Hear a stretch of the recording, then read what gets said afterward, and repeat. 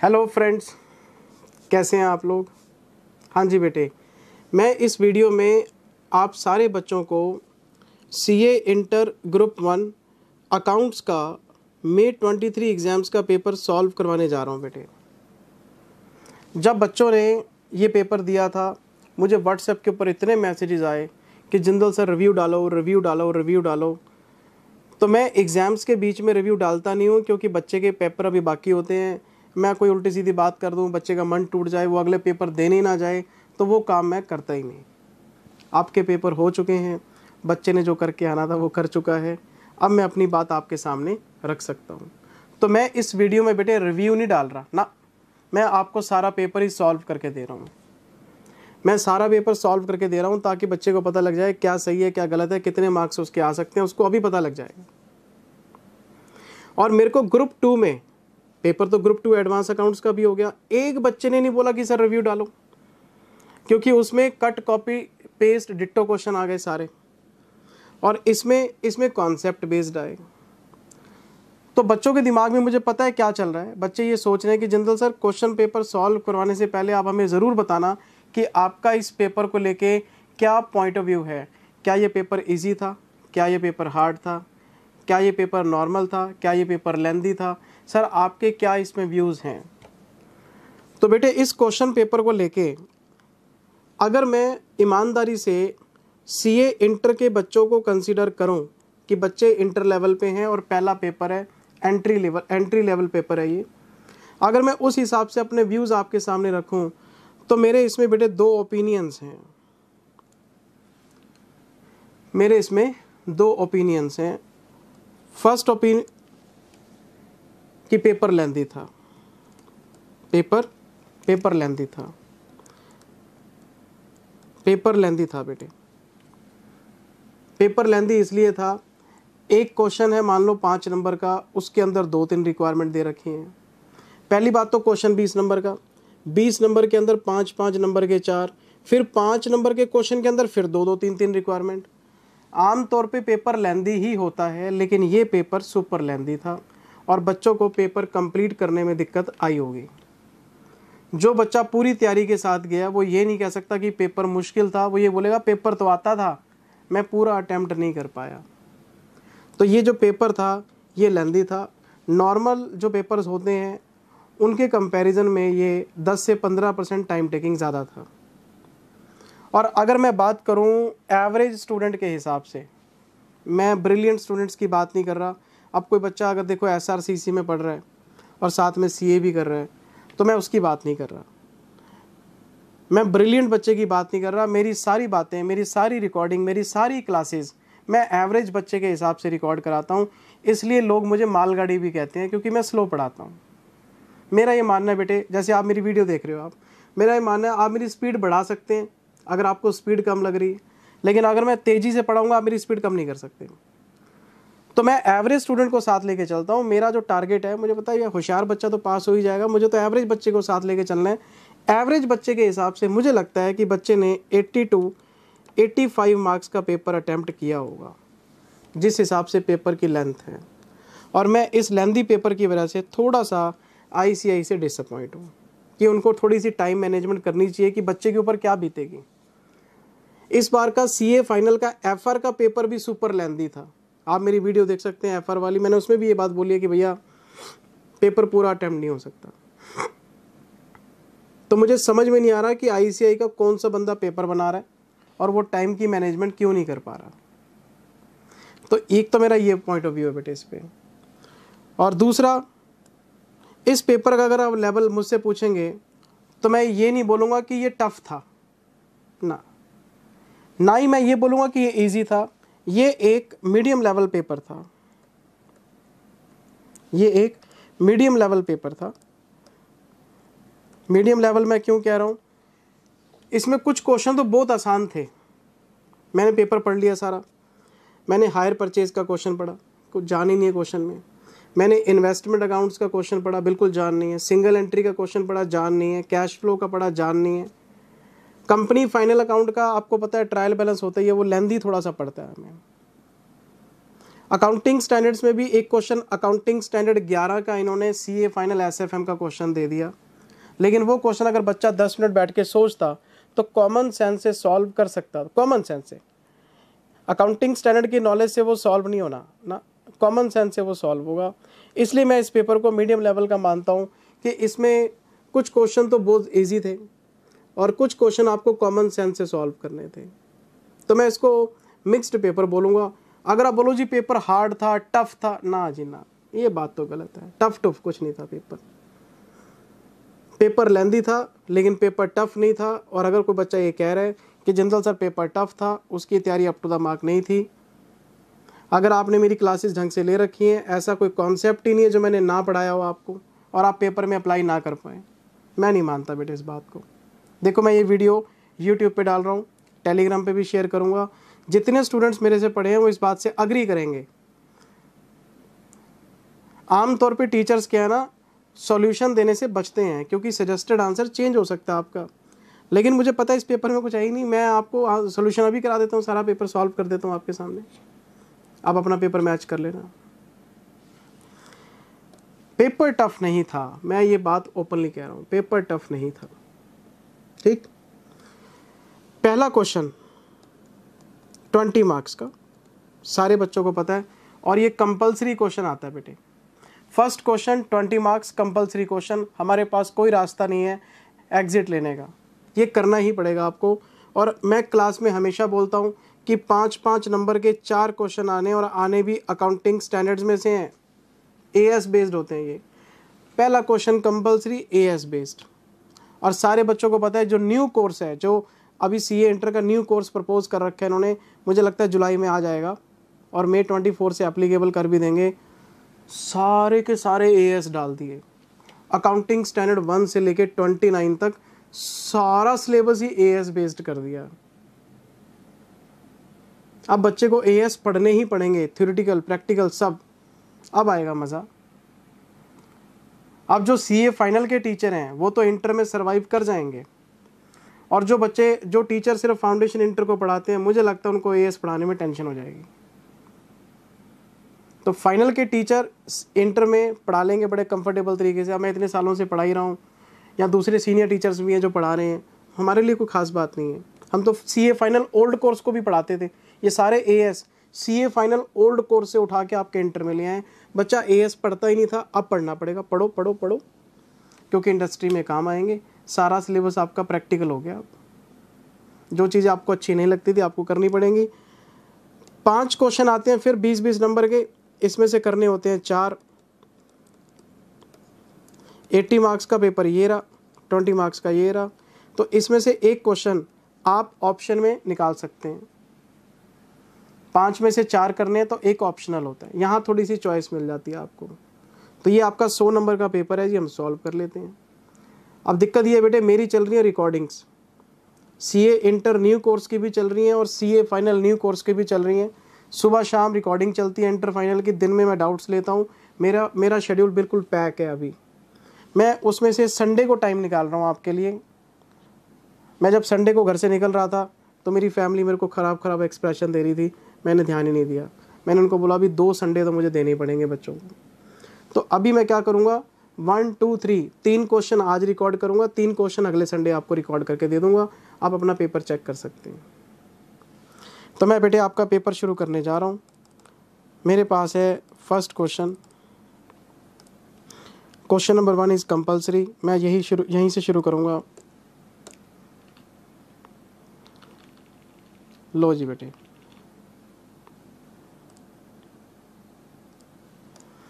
मैंने स्क्रीन पे आपका क्वेश्चन लगा दिया है। बच्चे के दिमाग में सबसे पहली बात, जिंदल सर ये कौन से ए एस में से आया? तो ये क्वेश्चन नंबर वन का ए पार्ट है बेटे, पाँच नंबर का है। और ये आप कह सकते हो कि अकाउंटिंग स्टैंडर्ड टेन का क्वेश्चन है। लेकिन मैं इसको ए एस टेन का क्वेश्चन बोलूँगा नहीं, क्योंकि इसमें ए एस वाली कोई बात ही नहीं। इसमें डेप्रिसिएशन निकालना है आपने। और एसेट का क्लोजिंग बैलेंस निकालना है। एक एसेट है जिसमें कई बार परचेज हुआ सेल हुआ तो और आपसे पूछता है कि सेल परचेज की डेट को कंसिडर करके आप बताओ कितना डेप्रिसिएशन लगना चाहिए और आपकी एसेट का कितना क्लोजिंग बैलेंस है। तो इसमें ए वाली कोई बात ही नहीं है तो कॉमन सेंस का क्वेश्चन है। मैं इसको ए एस का मानता ही नहीं। आप इस क्वेश्चन को अपने कॉमन कॉन्सेप्ट से सॉल्व कर सकते हो। कॉमन सेंस का क्वेश्चन है जी। मैं क्वेश्चन आपको चेक करा देता हूँ। आइए मेरे साथ। In the books of top maker limited हमें कंपनी के नाम में कोई इंटरेस्ट नहीं जी। Company A O B O C O D O X O Y O Z O हमें क्या लेना? कंपनी के नाम में कोई इंटरेस्ट नहीं। इनके पास कैरिंग अमाउंट बता रहे हैं। कैरिंग अमाउंट का मतलब क्या है जी? Balance sheet value book value W जो वैल्यू बैलेंस शीट कैरी कर रही है दैट इज़ कैरिंग अमाउंट बहुत बार डिस्कस किया हमने इस टर्म को। प्लांट एंड मशीनरी की आपको एक कैरिंग अमाउंट बता रहे हैं, कब? First April twenty two fifty six lakh thirty thousand अगर मैं एक टाइम लाइन ड्रॉ करता हूँ फ़र्स्ट अप्रैल ट्वेंटी टू ये मेरा ओपनिंग बैलेंस है, और मेरे पास fifty six lakh thirty thousand rupees का कोई प्लांट एंड मशीनरी का बैलेंस है। अब ये क्यों बता रहा है, पता नहीं, आगे देखना पड़ेगा। किसी भी बच्चे को मेरी स्पीड कम लगे, क्योंकि मैं अपनी नॉर्मल स्पीड पे पढ़ा रहा हूँ, और आप बच्चे पता नहीं किस पॉइंट ऑफ़ व्यू से देख रहे हैं वीडियो को, आप प्लीज़ स्पीड को बढ़ा के देख सकते हैं। अगर आप नोटिंग नहीं करना चाहते, तब भी ठीक है। सिर्फ़ समझना चाहते हैं, तब भी ठीक है। तो स्पीड अपने हिसाब से एडजस्ट कर लेना, क्योंकि आपको पता है मैं स्लो पढ़ाता हूँ, मैं क्वेश्चन सारा पढ़ूँगा। तो आप स्पीड बढ़ा के देख सकते हैं। यूट्यूब के ऊपर टू एक्स तक शायद चलता है।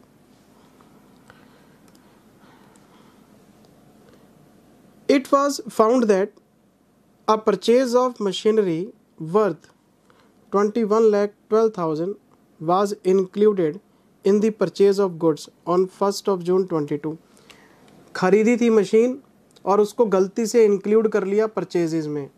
अब ना तो मैं ट्रेडिंग अकाउंट बना रहा हूँ, ना मैं परचेजेज लिख रहा हूँ अगर मैं ऐसा करता तो मैं रेक्टिफिकेशन कर रहा होता परचेज़ का कि भैया मशीनरी की परचेज़ को गुड्स की परचेज़ में कहाँ इंक्लूड कर लिया परचेज़ को रेक्टिफाई करो परचेज़ को कम करो। पर मैं तो रेक्टिफिकेशन कर ही नहीं रहा, ना मुझे ट्रेडिंग बनाना। तो मैं एक चीज़ नोट कर लेता हूँ कि मैंने फ़र्स्ट ऑफ़ जून को, मैंने फ़र्स्ट ऑफ़ जून को इक्कीस लाख बारह हज़ार twenty one lakh twelve thousand ये मशीन मैंने परचेज़ की है परचेज्ड अब इस पर क्या होगा? इस पर दस महीने का डेप्रिसिएशन लगेगा, क्योंकि thirty first of March twenty three मेरी क्लोजिंग डेट होगी। तो फ़र्स्ट ऑफ़ जून से यहाँ तक टेन मंथ्स और फ़र्स्ट अप्रैल से ट्वेल्व मंथ्स जो ओपनिंग बैलेंस वाला प्लांट है, उस पर बारह महीने का डेप्रिसिएशन और जो मैं एक जून को खरीदूँगा, वो दस महीने का डेप्रिसिएशन इनकम टैक्स में डेप्रिसिएशन लगता है पुट टू यूज़ से और ए एस में लगता है डेट ऑफ़ परचेज से रेडी फॉर यूज़ से, है ना? सब कुछ पढ़ा हुआ है आपने?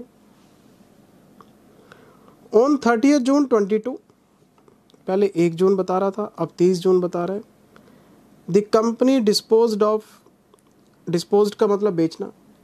A machine having book value of nine sixty first April twenty two लो कर लो बात। यहाँ से नाइन लैख सिक्सटी थाउज़ेंड की जो मशीन है, वो सेल हो चुकी है आपकी। इसका मतलब ओपनिंग बैलेंस आपका कम हो गया। और जो नाइन सिक्सटी की मशीन इन्होंने बेची है, मैं यहाँ पे सोल्ड लिख देता हूँ। ये बेची है थर्टी जून को। तो मैं इसमें क्या करूँगा? नाइन सिक्सटी लूँगा। माइनस करूँगा तीन महीने का डेप्रिसिएशन क्योंकि ये बुक वैल्यू फ़र्स्ट अप्रैल की है। बेच रहा हूँ मैं तीस जून को, तीन महीने का डेप्रिसिएशन लगेगा। फिर ये डब्ल्यू आएगी और इसका कंपैरिजन मैं सेलिंग प्राइस से करके अपना प्रॉफिट एंड लॉस निकालूँगा। कि सेल करने पे प्रॉफिट हुआ कि लॉस हुआ? और क्वेश्चन बता भी रहा है कि इन्होंने आठ पच्चीस में बेचा है इसको। क्वेश्चन बता भी रहा है कि इन्होंने आठ पच्चीस में बेचा है। तो नौ साठ माइनस तीन महीने का डेप्रिसिएशन बेचा है आठ पच्चीस में, नफ़ा नुकसान निकाल लेंगे। लेकिन एक बात और समझो क्वेश्चन में एक वर्डिंग और भी है। In part exchange of new machine costing fifteen sixty five इन्होंने न्यू भी खरीदी है सेम डेट को। और ये खरीदी है पंद्रह लाख पैंसठ हज़ार रुपये की fifteen lakh sixty five thousand की। फिफ्टीन सिक्सटी फाइव इन्होंने खरीदी है, आठ लाख पच्चीस हज़ार रुपये का प्लांट पुराना दे दिया है एक्सचेंज में। तो सात लाख चालीस हज़ार की पेमेंट कैश में की होगी इन्होंने। सेवन लाख फोर्टी थाउज़ेंड की पेमेंट कैश में गई होगी। ये एक्सचेंज कर लिया। फिफ्टीन सिक्सटी फाइव नया आ गया और मैं इस पर नाइन मंथ्स का डेप्रिसिएशन चार्ज करूँगा, क्योंकि थर्टी जून और फ़र्स्ट जुलाई एक ही बात है तो मैं इस पर नौ महीने का डेप्रिसिएशन चार्ज करूँगा। मैं इस पर तीन महीने का डेप्रिसिएशन चार्ज करूँगा। मैं इस पर दस महीने का डेप्रिसिएशन चार्ज करूँगा और मैं इस पर जो बैलेंस है, इस पर बारह महीने का डेप्रिसिएशन चार्ज करूँगा। डेप्रिसिएशन ही डेप्रिसिएशन नज़र आ रहा है इस क्वेश्चन के अंदर। और क्वेश्चन मुझे कह रहा है आगे। The company charges depreciation at the rate of ten percent per annum on W basis company का depreciation ten percent per annum है डब्ल्यू बेसिस पे। तो दस परसेंट है पीरियड आपको पता है डेप्रिसिएशन निकाल लेंगे। क्वेश्चन की रिक्वायरमेंट देखो आप। क्वेश्चन की पहली रिक्वायरमेंट है डेप्रिसिएशन बताओ जी कितना चार्ज होगा। दूसरी रिक्वायरमेंट बताओ जी क्लोज क्लोजिंग बैलेंस कितना होगा। अगर आपको 31 मार्च 2023 की बुक वैल्यू पूछ रहे हैं तो मतलब क्लोजिंग बैलेंस पूछ रहा है आपसे। निकाल देते हैं, अभी दो मिनट का काम है। सेल परचेज प्लस माइनस करनी है। और तीसरा मुझसे पूछ रहे जी बताओ आप हमें प्रॉफिट और लॉस एक्सचेंज पे कितना हुआ आपको? और इंस्टीट्यूट की हरकत देख लो आप, पाँच नंबर का तो क्वेश्चन है, और उसमें भी तीन पार्ट बना रखे हैं, बताओ। ये सीए का बच्चा ही है जो इतना जुल्म बर्दाश्त कर लेता है इनका। पाँच नंबर का क्वेश्चन पूछ पहले तो बीस नंबर के चार टुकड़े बना दिए, चलो, पाँच पाँच नंबर के चार, पाँच पाँच पाँच, फिर उसके आगे तीन तीन टुकड़े बना रहे हो यार, क्या कर रहे हो आप? इतना लेंदी पेपर कैसे मतलब सोच सकते हो आप? तो मैं अगर आपको डेप्रिसिएशन की बात करूँ ना बेटे, मैं आपको समझने के हिसाब से बता रहा हूँ प्लीज़ बात को समझ लेना नोटिंग वोटिंग करने की ज़रूरत है नहीं। तो मेरे पास सबसे पहले है ओपनिंग बैलेंस मेरे पास ओपनिंग बैलेंस कितना था? क्वेश्चन मैंने आपको रीड कराई दिए छप्पन लाख तीस हज़ार। Fifty six lakh thirty thousand में से मैंने नाइन सिक्सटी वाला तो डिस्पोज ऑफ़ ही कर दिया था। तो इसमें जो बचेगा, उसका टेन परसेंट आपको पूरे साल का डेप्रिसिएशन लेना है। Fifty six thirty minus nine sixty जो भी बचेगा इसका ten percent four lakh sixty seven thousand. एक तो ये डेप्रिसिएशन आएगा। दूसरा परचेजेस कौन सी परचेज है जी? वन सिक्स को। एक जून को। हमने इक्कीस लाख बारह हज़ार रुपये twenty one lakh twelve thousand इसका टेन परसेंट और इसका टेन मंथ्स का डेप्रिसिएशन आपको निकालना पड़ेगा।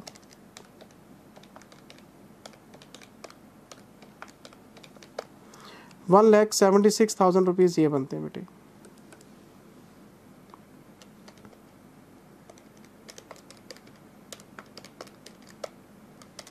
ठीक है जी?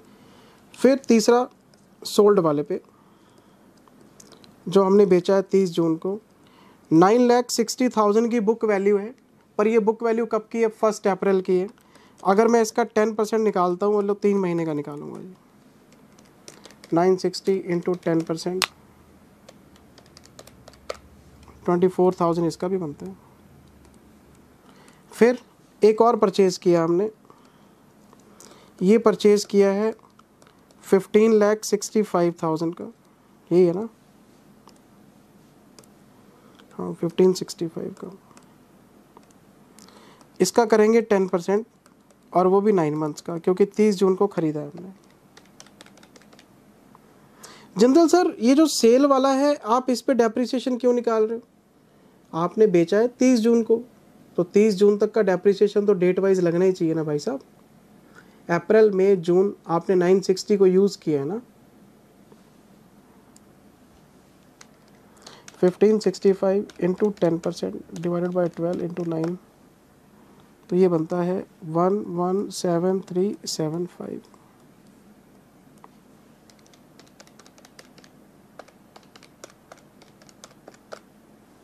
लगाओ total four sixty seven plus one seventy six plus twenty four thousand plus one one seven three seven five seven eight four three seven five ये डेप्रिसिएशन आपका आना चाहिए। इसमें ओपनिंग बैलेंस भी है, इसमें परचेजेस भी हैं सेल वाले का सेल की डेट तक का डेप्रिसिएशन है, सारी वर्किंग हो गई दूसरी वर्किंग आपको क्लोजिंग बैलेंस निकालना है। तो क्लोजिंग बैलेंस निकाल लेते हैं।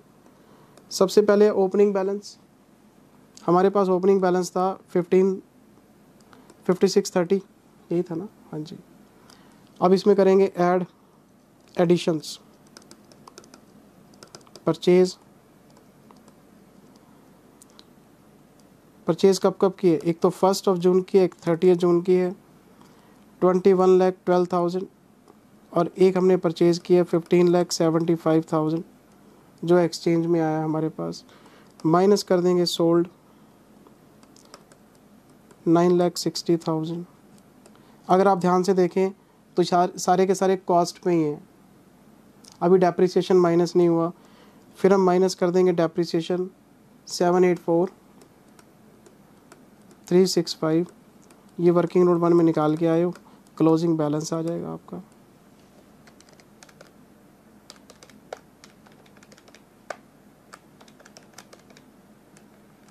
Fifteen lakh seventy five thousand minus nine sixty minus seven eight four three six five seven five seven two six three five ये आपका क्लोजिंग बैलेंस आ गया। सारे परचेज ऐड कर दिए सेल माइनस कर दी डेप्रिसिएशन माइनस कर दिया ओपनिंग बैलेंस में क्लोजिंग बैलेंस आ गया। ये कोई मुश्किल काम है। टाइम टेकिंग ज़रूर है। लिखने में टाइम तो लगता ही है ना। बच्चे को प्रेजेंटेशन में टाइम तो लगेगा ही।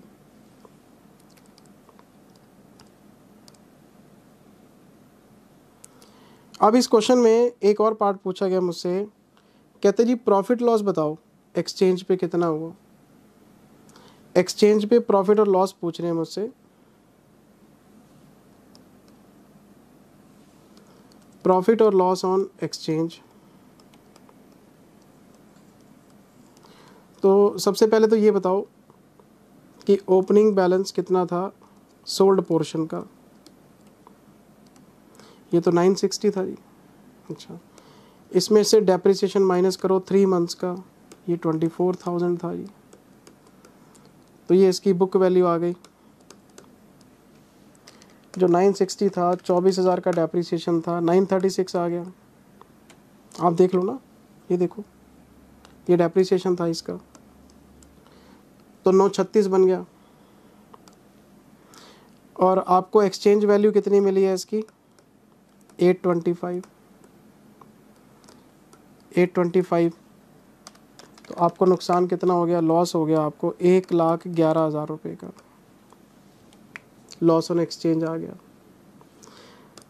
बच्चे कई बार पूछ लेते हैं नॉलेज के लिए वैसे ही सर जनरल एंट्री बताना। तो जनरल एंट्री आप देख लो।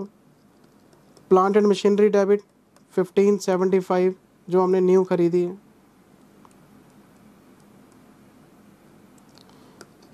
पी एंड एल डेबिट एक लाख ग्यारह हज़ार रुपये ये लॉस ऑन एक्सचेंज आ गया। To old plant and machinery ये हमने नाइन सिक्सटी की दे दी है।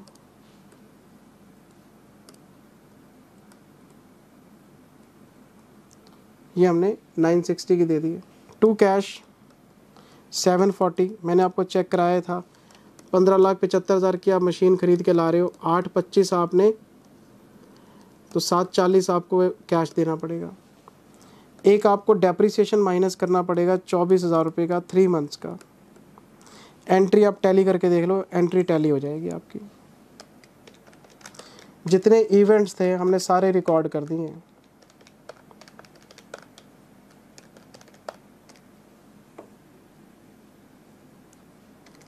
फिफ्टीन सेवेंटी फाइव प्लस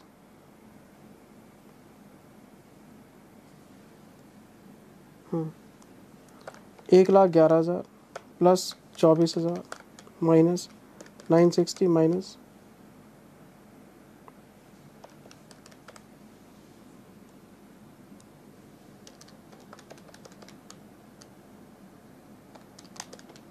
साढ़े सात लाख का कैश आएगा। ये सात चालीस का नहीं है। साढ़े सात लाख रुपए कैश में जाएँगे एक्चुअली आठ पच्चीस है ना? हाँ जी। पंद्रह पिचहत्तर का ख़रीदा आपने। पंद्रह पैंसठ का ख़रीदा सर। अच्छा। अगर पंद्रह पैंसठ का ख़रीदा है तो फिर सात चालीस कैश जाएगा? वो तो वैल्यूज़ के हिसाब से सेकंड फिगर चेंज हो जाती है। अगर ये सिक्सटी फाइव है तो फिर ये सेवन फोर्टी है पॉइंट ये है कि क्वेश्चन आपको सॉल्व करना था डेट वाइज और सिंगल एंट्री सिस्टम का जो चैप्टर है हमारा, उसमें इस तरह की इंफॉर्मेशन एक दो क्वेश्चंस में आई है। जैसे क्वेश्चन नंबर वन है, शिव कुमार वाला, उसमें ऐसी इंफॉर्मेशन है फर्नीचर की। तो मुझे नहीं लगता कि इस क्वेश्चन को करने में बच्चे को टेक्निकली दिक्कत आई होगी। टाइम लग गया, वो लग पाता है। अगर आप बोलो मुश्किल है जी, मुश्किल नहीं, मैं मानता ना? मुश्किल वाली कोई बात नहीं है सर इसमें। मुश्किल वाली कोई बात नहीं। मैं मुझे आगे बढ़ने दो। ये पाँच नंबर का क्वेश्चन था बेटे आपका। मैं इसके बी पार्ट में अभी आता हूँ। मैं एक बार सी पार्ट आपको चेक करा दूँ। फिर मैं इसके बी पार्ट में आता हूँ।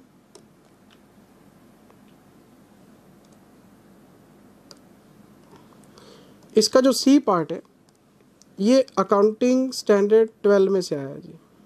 ग्रांट का क्वेश्चन है।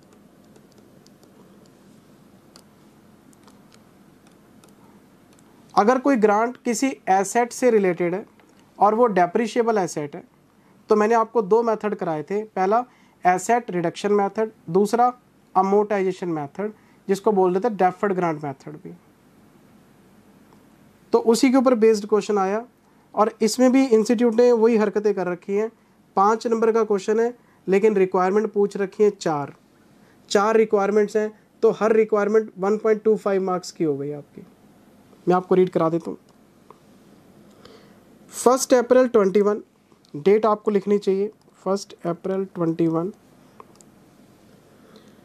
कंपनी ने परचेज किया है कोई manufacturing plant for 60 lakh rupees ठीक है जी।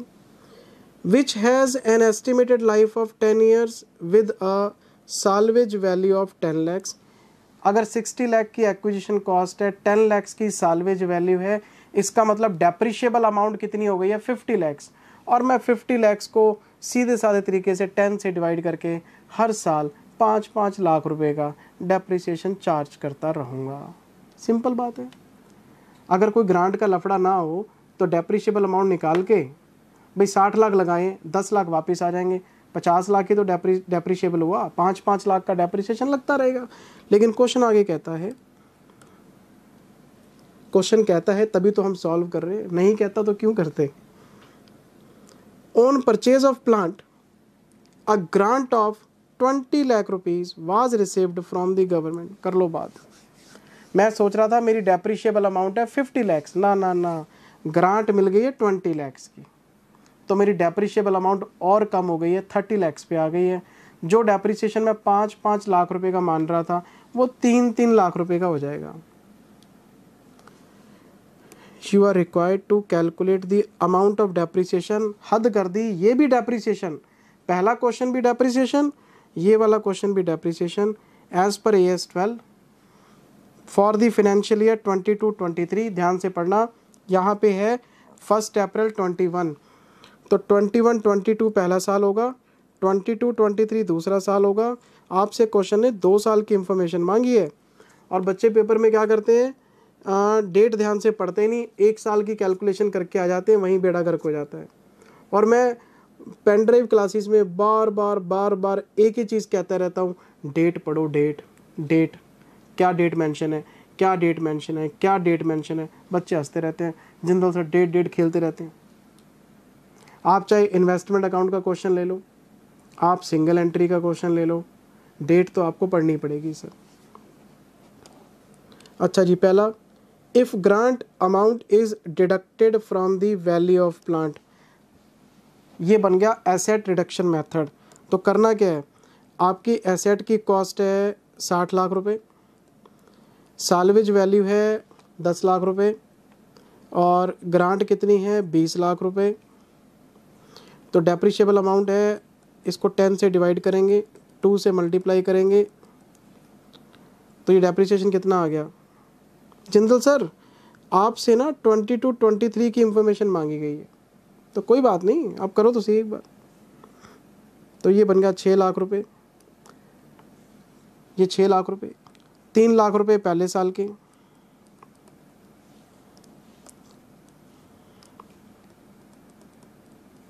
और तीन लाख रुपए दूसरे साल के। और एक बात और बताता हूँ, जब क्वेश्चन में ईयर्स दे रखे होते हैं तो हमेशा एस एल एम ही प्रेफर करते हैं। और अगर एसएलएम के बेसिस पे चलना है तो यहाँ पे टू ईयर से अगर मैं मल्टीप्लाई नहीं करता सिंपल तरीके से चलता हूँ। लो जी वन ईयर तो तीन लाख रुपए पर एनम बनता है।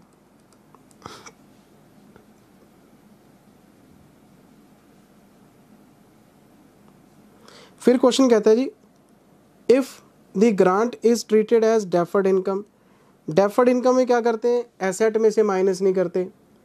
हम ग्रांट को एक सेपरेट अकाउंट में ले जाते हैं डेफर्ड ग्रांट अकाउंट में। और उसको पी एंड एल में अमाउंटाइज करते हैं। तो 20 लाख रुपए की जो ग्रांट है, ये डेफर्ड ग्रांट में चलेगी। इसको 10 से डिवाइड करेंगे तो दो लाख रुपए पी एंड एल में क्रेडिट करते रहेंगे एज एन इनकम वो तो क्वेश्चन ने पूछा ही नहीं आपसे कि डेफर्ड ग्रांट को कैसे अमोटाइज करोगे। क्वेश्चन है डेप्रिसिएशन बताओ।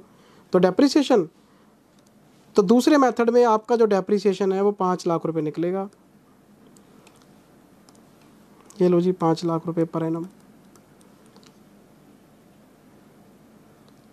under deferred income method under deferred grant method the amount of grant is transfer to a separate account and there will be no impact on the normal depreciation अगर आप asset में से minus कर देते हैं depreciation reduce हो जाता है क्योंकि एसेट की कॉस्ट कम हो जाती है। पर यहाँ पे यहाँ पे डेप्रिसिएशन नॉर्मल निकलता रहता है और मैंने क्लास में क्या बताया था? ये पाँच लाख रुपए पी एंड एल में डेबिट होगा और ये दो लाख रुपए पी एंड एल में क्रेडिट होगा पी एंड एल बनाएँगे, इधर लिखेंगे डेप्रिसिएशन पाँच, इधर लिखेंगे ग्रांट दो नेट इफ़ेक्ट वही आना है तीन का। प्रेजेंटेशन चेंज हो जाता है। एसेट रिडक्शन में हाथों हाथ नेट अमाउंट आपको पता लग जाती है। यहाँ पे आपको नेट बनानी पड़ती है इनडायरेक्टली अब मैं कॉन्सेप्ट तो करा नहीं सकता क्लास में सब पढ़ा हुआ आपने डिटेल में एग्ज़ाम्पल बना बना के। कोई मुश्किल काम था बताओ। क्वेश्चन आपसे डेप्रिसिएशन मांग रहा है और दो मेथड्स में। क्वेश्चन आगे क्या कहता है जी? तीसरा पार्ट देखो। If grant amount is deducted from the value of plant ध्यान से पढ़ना एसेट रिडक्शन मेथड की बात कर रहा है ये। But at the end of 20 to 23 grant is refunded to the extent of 4 lakhs grant refund हो गई है चार लाख रुपए की due to the non compliance of the certain condition अगर आपको रिफंड देखना हो तो डेप्रिसिएशन कितना होगा? तो सबसे पहले हम लिखेंगे ओपनिंग बैलेंस ये साठ लाख रुपए है। हम इसमें से माइनस करेंगे ग्रांट बीस लाख रुपए की। ये सारी अकाउंटिंग एक चार इक्कीस को हो रही है। तो नेट कॉस्ट पड़ेगी हमें चालीस लाख रुपए की, एक चार इक्कीस को। अब डेप्रिसिएशन माइनस करना है इकतीस मार्च बाईस को। तो चालीस लाख में से सालवेज वैल्यू पहले माइनस करेंगे। सालवेज वैल्यू यहाँ इस कॉलम में से माइनस नहीं होती। सालवेज वैल्यू डेप्रिसिएशन के टाइम पे ध्यान रखनी होती है। मैं इसको डिवाइड करूँगा टेन से। तो मेरा तीन लाख का डेप्रिसिएशन माइनस हो गया। तो एक चार बाईस को ये रह गया सैंतीस लाख रुपए। सैंतीस लाख रुपए। अब इकतीस मार्च को रिफंड करो, ऐड बैक। जब ग्रांट आई थी तो माइनस करते हैं रिफंड होगा तो ऐड बैक करेंगे। तो इसकी रिवाइज्ड वैल्यू हो जाएगी फोर्टी वन लैक्स तो जो फोर्टी वन लैक्स है, हम इसमें से माइनस करेंगे टेन लैक्स सालवेज वैल्यू के डेप्रिसिएशन निकालने। और मैंने क्लास में कितनी बार बोला है कि रिफंड को पहले रिकॉर्ड करना है डेप्रिसिएशन को बाद में रिकॉर्ड करना है। अब इसको डिवाइड करेंगे नाइन से। रिमेनिंग वैल्यू रिमेनिंग लाइफ अब नाइन से डिवाइड कर लेंगे हम इसको। क्वेश्चन सॉल्व हो जाएगा आपका। ग्रांट आ गई तो माइनस कर ली, ग्रांट चलेगी अच्छा एक तरीका और भी है। सिक्सटी लैख ले लो, माइनस ट्वेंटी लैख कर लो, और माइनस टेन लैक्स भी यहीं कर लो। तो फिर आप इसको नाम देना डेप्रीशिएबल अमाउंट का। फिर आप इसको कैरिंग अमाउंट नहीं बोल सकते।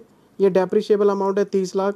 तीन लाख का डेप्रीसिएशन माइनस कर लेना पहले साल, ये बचेंगे सत्ताईस। फिर आप इसमें एडबैक कर लेना चार लाख का रिफंड ये हो जाएँगे इकतीस। फिर इसको डिवाइड कर देना नाइन से। आंसर सेम आएगा। लेकिन प्रैक्टिकली सालवेज वैल्यू को एसेट अकाउंट में से लेस करके नहीं दिखाया जाता तो आंसर तो सेम आ जाएगा, लेकिन प्रेजेंटेशन ये ठीक है आपका। सालवेज वैल्यू को इधर रखो डेप्रिसिएशन के टाइम पे। ये देखो ना forty one minus ten divided by nine तो थर्टी वन को डिवाइड करना है नाइन से। आ तो वही रहा है लेकिन प्रेजेंटेशन का डिफरेंस है। अब मेरे को गुस्सा इस बात का है कि पाँच नंबर का क्वेश्चन और आप तीन तीन, चार चार पार्ट पूछ रहे हैं बच्चे से। दोनों मेथड पूछ लिए रिफंड पूछ लिया। कमाल की बात है वैसे। फिर क्वेश्चन क्या कहता है जी? हमें क्वेश्चन कहता है चौथे पार्ट में if the grant is treated as promoter contribution promoter contribution तो कैपिटल रिज़र्व में जाते हैं जी। तो आपको एंट्री पास करनी है। Bank account debit to grant 20 lakh रुपए। और सेकेंड एंट्री पास करनी है grant account debit to capital reserve क्योंकि जो प्रमोटर कंट्रीब्यूशन की ग्रांट है, ये कैपिटल रिज़र्व में जाती है तो डेप्रिसिएशन का लफड़ा ही नहीं ये चार पार्ट थे, इन चारों का आंसर ये बनता है। एसेट रिडक्शन मेथड में नॉर्मल डेप्रिसिएशन बनता है तीन लाख। डेफर्ड में बनता है पाँच लाख। रिफंड में क्या करना है? पहले एड बैक करना है। फिर डेप्रिसिएशन निकालना है। चौथा कैपिटल रिज़र्व में लेके जाना है। चार पार्ट है तो हर पार्ट 1.25 मार्क्स का हो गया। ये देखो जी डी पार्ट बिल्कुल आसान है। ये तो हमने क्लास में बहुत बार किया है जी एग्जांपल्स भी किए हैं। A S sixteen borrowing cost का क्वेश्चन आ गया। स्पेसिफिक बोरिंग जनरल बोरिंग और जनरल बोरिंग में क्या करते हैं? डब्ल्यू निकालते हैं वेटेड एवरेज कैपिटलाइजेशन रेट निकालते हैं।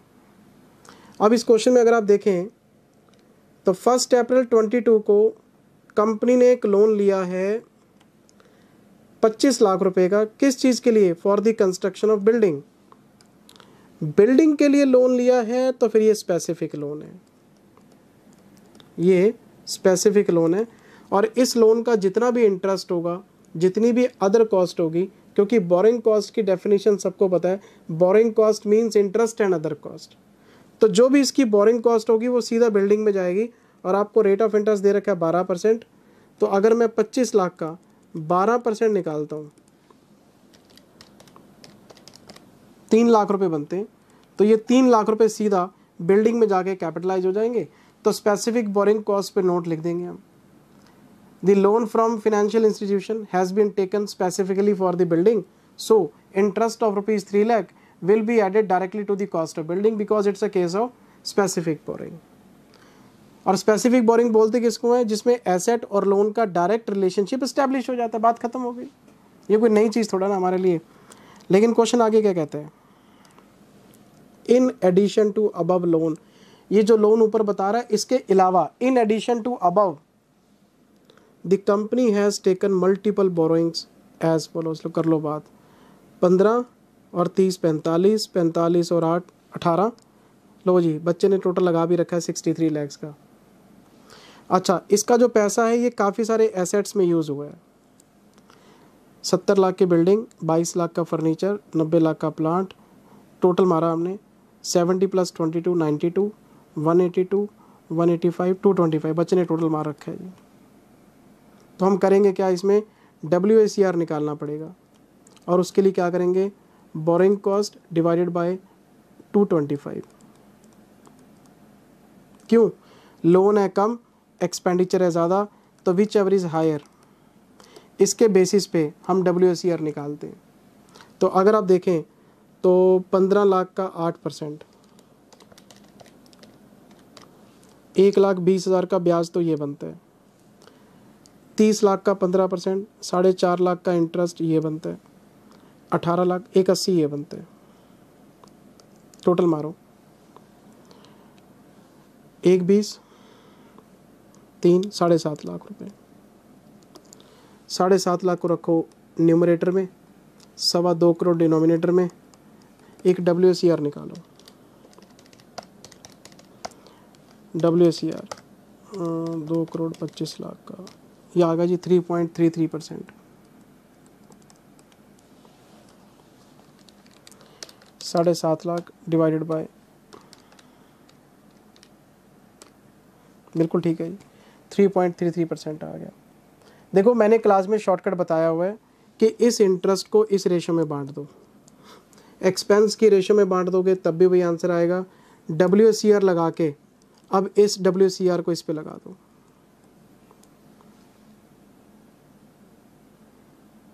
हो गया कैपिटलाइजेशन अब आपको ये बताना है क्वेश्चन में, कि कौन सा ब्याज कैपिटलाइज होगा, कौन सा पी एंड एल में जाएगा? क्वेश्चन आगे क्या कहता है?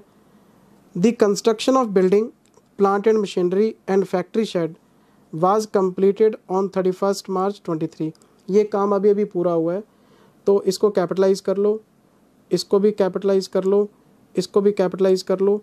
लेकिन क्वेश्चन कहता है readymade furniture was purchase directly from the market अगर मार्केट से फर्नीचर बना बनाया ख़रीदा आपने तो ये क्वालिफाइंग एसेट नहीं है।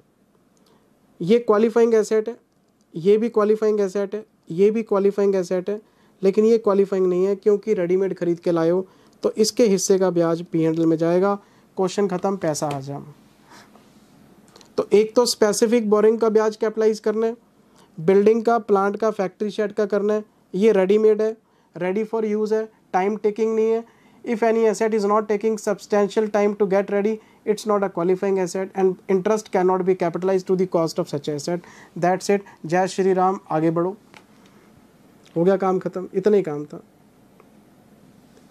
ये क्वेश्चन है बेटे पाँच पाँच नंबर के चार क्वेश्चन है तीन क्वेश्चन नॉर्मल थे अगर आप थोड़ा सा प्रेजेंस ऑफ़ माइंड से क्वेश्चन पढ़ते हो जाता ये लेकिन अगर आप बोलो लेंदी थे बिल्कुल थे जी लेंदी तो थे मैं इस बात को डिनाई नहीं करता कि बच्चे के लेवल से इतनी सारी चीज़ें मतलब ऐसे काम क्यों करते हैं ये?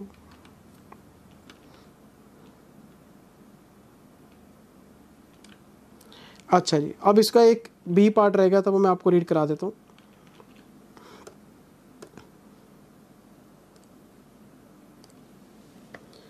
आपको देखने में लगेगा कि ये क्वेश्चन अकाउंटिंग स्टैंडर्ड 11 का है। ये अकाउंटिंग स्टैंडर्ड 11 का सिर्फ़ इम्प्रेशन दे रहे हैं। वैसे ये question C A final S F M का है। इन्होंने C A final S F M की किताब में से क्वेश्चन उठा के दे दिया फोर एक्स का। लेकिन, अब मेरे पास इसके दो व्यूज़ हैं। पहला, क्या इंस्टीट्यूट इसके ग्रेस मार्क्स देगा? चांसेस कम है। ढीठ लोग हैं सर अगर ग्रेस ही देनी होती तो क्वेश्चन ही क्यों डालते? दूसरी बात अगर आप इस क्वेश्चन को थोड़ा सा आराम से बैठ के पढ़ते तो ये क्वेश्चन मुझे लगता है कुछ बच्चों ने कॉमन सेंस से सॉल्व कर लिया होगा। सबने तो नहीं किया होगा, कुछ बच्चों ने किया होगा। मैं क्वेश्चन आपको रीड करा देता हूँ। ये जो कंपनी है ना, इसके पास एक पेबल है फिफ्टी थाउज़ेंड पाउंड्स का। ठीक है जी? और डेट बता रहे हैं मार्च ट्वेंटी थ्री इनके पास दो ऑप्शंस हैं। ये जो फिफ्टी थाउज़ेंड पाउंड्स का एक पेबल है ना, इसको चुकाने के पेबल है तो चुकाना पड़ेगा। इसके दो ऑप्शन बता रहे हैं। पहला ऑप्शन आप इसको अभी पे करो इमीडिएटली तो आपको एक कैश डिस्काउंट मिल जाएगा one percent on the payable अगर आप इसको अभी चुकाते हैं तो आज के रेट पे चुकाना पड़ेगा और आज का रेट चल रहा है नाइन्टी सेवन तो क्या आप पेबल की वैल्यू नहीं निकाल सकते? Fifty thousand minus one percent into ninety seven, आज की वैल्यू आ जाएगी। लेकिन दूसरा ऑप्शन आप हमें छः महीने बाद दे देना आफ्टर सिक्स मंथ्स लेकिन ब्याज लेंगे आपसे पाँच percent per annum on the payable अब मुझे एक बात बताओ, क्या इन दोनों का कंपैरिजन आपस में हो सकता है? Answer is no common sense ये कहती है कि अगर ये छः महीने आपको उधार दे रहा है ब्याज पे तो ये ऑप्शन इसने क्यों दी? इसका मतलब आपके पास अभी फंड्स का अरेंजमेंट नहीं है। वो कहता छः महीने बाद दे देना, ब्याज लगा के दे देना। और छः महीने बाद का रेट है नाइन्टी नाइन या तो अभी दो, या ब्याज समेत दो। अगर मैं इसको पेमेंट करता हूँ छः महीने बाद तो कोई बात नहीं, ब्याज लगा के नाइन्टी नाइन लगा के दे दूँगा। लेकिन अगर मुझे अभी पेमेंट करनी है तो अभी तो मेरे पास है नहीं। तो फिर मैं क्या करूँगा? इंडियन बैंक से उधार लूँगा। मैं इंडियन मार्केट से पैसा उधार लेके और आज इसको इमीडिएटली पे कर देता हूँ। और जब मैं इंडियन मार्केट से उधार लूँगा तो मुझे पंद्रह परसेंट रेट लगेगा। इंडियन इंडियन रेट हमारा पंद्रह परसेंट चल रहा है। तो आपको करना क्या है? छः परसेंट ब्याज या पंद्रह परसेंट ब्याज? पेमेंट तो छः महीने बाद ही जानी चाहिए, तभी कंपैरिजन हो पाएगा। तो आप ये अज्यूम करके चलोगे कि मैंने इंडियन मार्केट से पैसा उधार उठाया, इसको इमीडिएटली दे दिया तो मुझे ब्याज देना पड़ेगा इंडियन मार्केट में वो कितना होगा? तो आपको कंपैरिजन करना है। मैं आपको पहला कंपैरिजन कराता हूँ। First option second option fifty thousand pounds हैं जी मेरे पास। फिफ्टी थाउज़ेंड पाउंड्स हैं। मैं इसमें ऐड कर देता हूँ फाइव परसेंट ब्याज सिक्स मंथ्स का। ये परिणाम है, ध्यान रखना। फाइव परसेंट ढाई परसेंट ऐड कर देता हूँ, चलो। ये सिक्स मंथ्स का इंटरेस्ट हो गया। और मैं इसको मल्टीप्लाई करता हूँ नाइन्टी नाइन से, क्योंकि छः महीने बाद रेट नाइन्टी नाइन का है। Fifty thousand pound plus two point five percent into ninety nine तो मुझे देने पड़ेंगे five zero seven three seven five zero ये वो अमाउंट है जो छः महीने बाद जाएगी। अब यहाँ पे आते हैं। फिफ्टी थाउज़ेंड कैश डिस्काउंट ले लो वन परसेंट का इससे। और इसको पैसे अभी दे दो। वन परसेंट ही है ना। Fifty thousand minus one percent into ninety seven तो ये आ जाएगा four eight zero one five double zero लेकिन ये पैसा मुझे ब्याज पे उठाना पड़ेगा इंडियन मार्केट से मेरे पास होते तो मैं ये इस ब्याज की बात क्यों करता? तो अड़तालीस लाख एक हज़ार पाँच सौ प्लस साढ़े सात परसेंट क्यों? इंडियन मार्केट में रेट है पंद्रह परसेंट पर का हाफ़ ईयर का। भाई, दो ऑप्शन कंपेयर कर रहे हो तो दोनों में ब्याज तो रखना पड़ेगा आपको, तभी तो कंपैरिजन हो पाएगा कि लोन इंडिया से लें या लोन इसी से ले लें। अच्छा। इनटू ये सिक्स मंथ्स का है।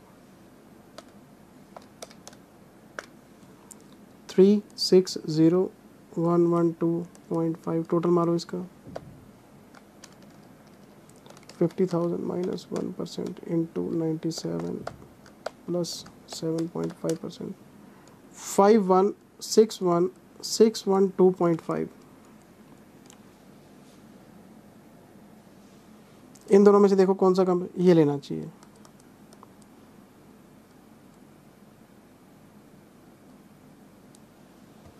अगर आप इंडिया से इंडिया से लोन लेते हैं और इमीडिएट पेमेंट करते हैं, आपको महँगा पड़ेगा, इसी से ले लो, क्योंकि रेट ऑफ़ इंटरेस्ट बहुत सस्ता है। इंडिया का रेट है साढ़े सात परसेंट छः महीने का, और यहाँ पे है छः महीने का ढाई परसेंट। ये कंपैरिजन करके बताना था आपने। मैं मानता हूँ कि कई बार ये आंसर क्लिक नहीं करते। अब मेरा तो देखो विज़न खुला हुआ है फाइनल लेवल को पढ़ाते हैं, इतने साल हो गए पढ़ाते हुए तो क्वेश्चन पढ़ते ही समय में आते हैं अच्छा ऐसे ऐसे होना चाहिए। नहीं क्लिक किया। तो इस क्वेश्चन में मेरे को थोड़ा सा डाउट है कि बच्चे ने क्योंकि ये ए एस इलेवन का क्वेश्चन ही नहीं है।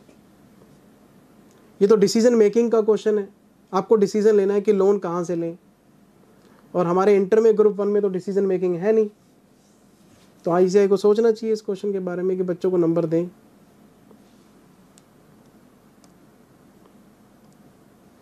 सारे बच्चे मेल लिखे मेल आईसीआई को बोर्ड ऑफ़ स्टडीज़ को। कि जी क्वेश्चन नंबर वन का जो बी पार्ट है, वो ए एस इलेवन का नहीं है, वो डिसीज़न मेकिंग का है, वो C A final S F M का क्वेश्चन है। आपको ग्रेस मार्क्स देनी चाहिए, हमसे नहीं हुआ। अगर बच्चे बल्क में मेल करेंगे तो आई की नॉलेज में आएगा तो आईसीए हो सकता है कोई एक्शन ले ले।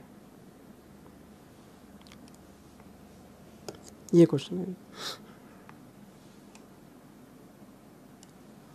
ये बेटे फ़र्स्ट क्वेश्चन का मैंने आपको सोल्यूशन बताया है।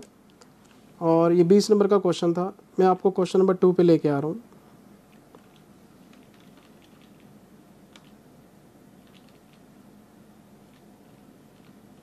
ये हमारा क्वेश्चन नंबर टू है। ये टू का ए पार्ट है और ये टेन मार्क्स का क्वेश्चन है। और ये हायर परचेज का क्वेश्चन है जी। ये हायर परचेज का क्वेश्चन मैं लिख देता हूँ।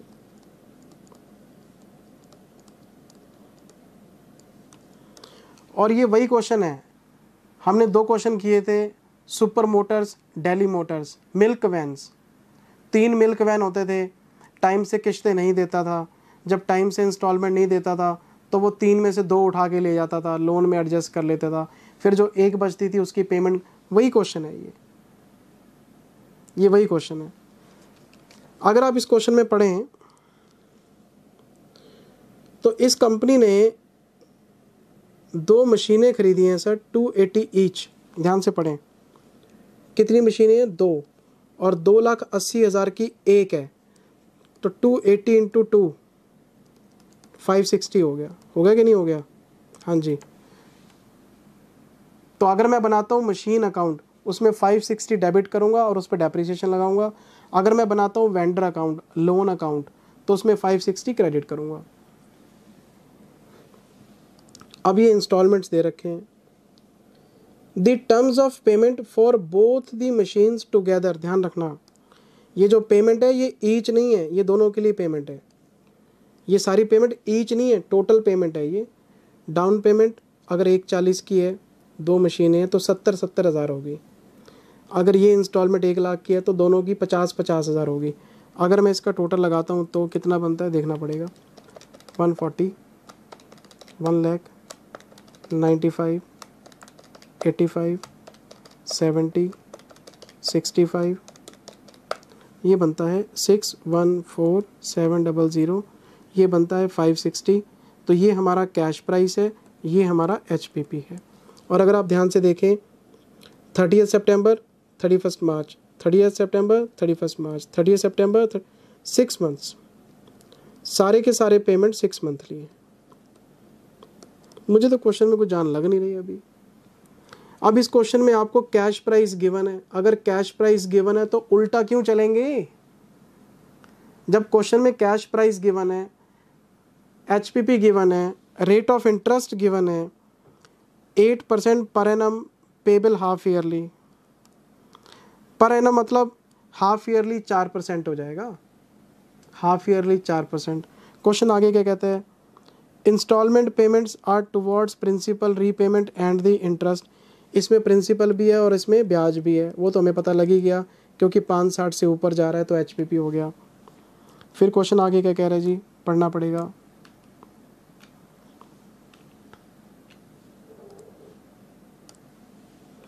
ये कंपनी जी चार्ज करती है बीस परसेंट डेप्रिसिएशन पर एनम और वो भी डब्ल्यूडीवी बेसिस पे।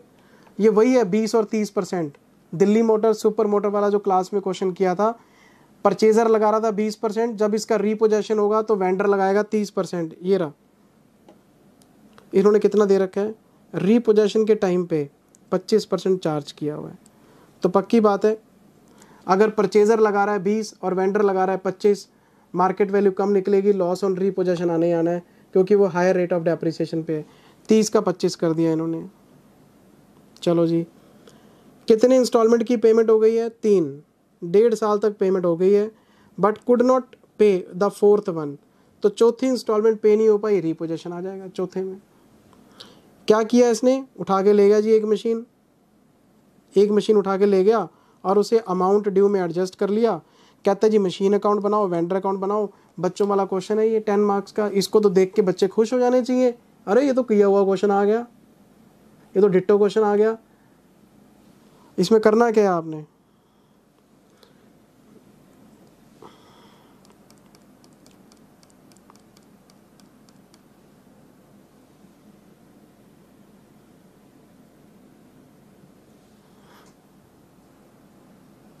सबसे पहले हमने बनाया मशीन अकाउंट मैं रफ में बना रहा हूँ। आप समझ लो बात को। एक मैंने बनाया वेंडर अकाउंट वेंडर का नाम लिख देना प्लीज़ मैंने वेंडर लिख दिया है। आप इसमें वेंडर का नाम लिख देना। सारे बच्चों को पता है पेपर क्लास में ये प्रेजेंटेशन नहीं चलता। पेपर में भी ये प्रेजेंटेशन नहीं चलता। हम तो पर्टिकुलर्स वाले बंदे हैं। पहला कॉलम पर्टिकुलर्स फिर अमाउंट्स पर्टिकुलर्स अमाउंट्स चमका चमका के लिखने वाला बंदा हूँ जी मैं। ये सिर्फ़ आपकी अंडरस्टैंडिंग के लिए शॉर्टकट ले रहा हूँ। कि आपको जल्दी से, झटपट से मैं आपको सारा क्वेश्चन समझा दूँ। बताओ जी, सबसे पहले डेट क्या है? First April twenty one down payment अच्छा? फ़र्स्ट अप्रैल ट्वेंटी वन हम लिखेंगे इसमें टू वेंडर फाइव सिक्सटी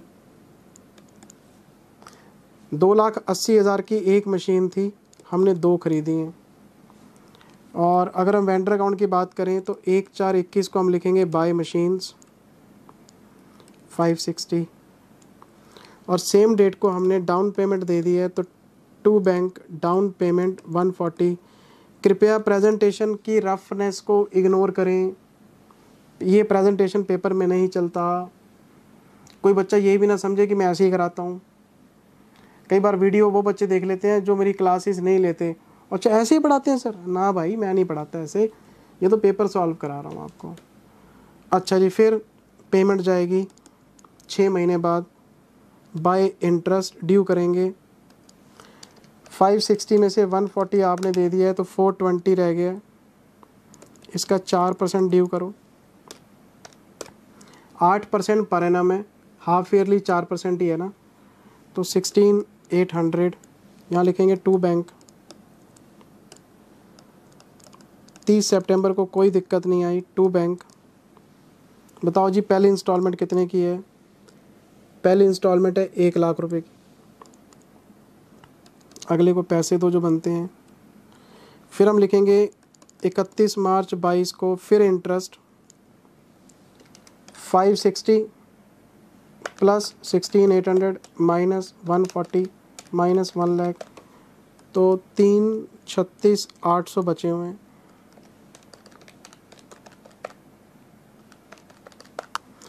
तीन छत्तीस आठ सौ का, फिर चार परसेंट। अब बच्चे पूछे तीन छत्तीस आठ सौ के ये टोटल माइनस ये टोटल तो बैलेंस आ जाएगा इकतीस मार्च को कितना बचा हुआ है? तो बैलेंस पे तो ब्याज लोगे। पाँच साठ था, एक चालीस चला गया, चार बीस चार बीस में ऐड हो गया सोलह आठ सौ। तो ये बन गया चार छत्तीस आठ सौ। चार छत्तीस आठ सौ में से एक लाख चुका दिया तो तीन छत्तीस आठ सौ बचा हुआ। कैलकुलेटर चलाओ, खुद जान जाओ। फिर इसका चार परसेंट। तो ये तेरह हज़ार चार सौ बहत्तर रुपये हैं और इकतीस मार्च को हम लिखेंगे टू बैंक। कितना? पचानवे हज़ार की इंस्टॉलमेंट है। Ninety five thousand. To balance C D balance निकालो। Five sixty plus sixteen eight hundred plus thirteen four seventy two. Minus करेंगे, वन फोर्टी माइनस करेंगे, वन लाख माइनस करेंगे नाइन्टी फाइव थाउज़ेंड तो two five five two seven two.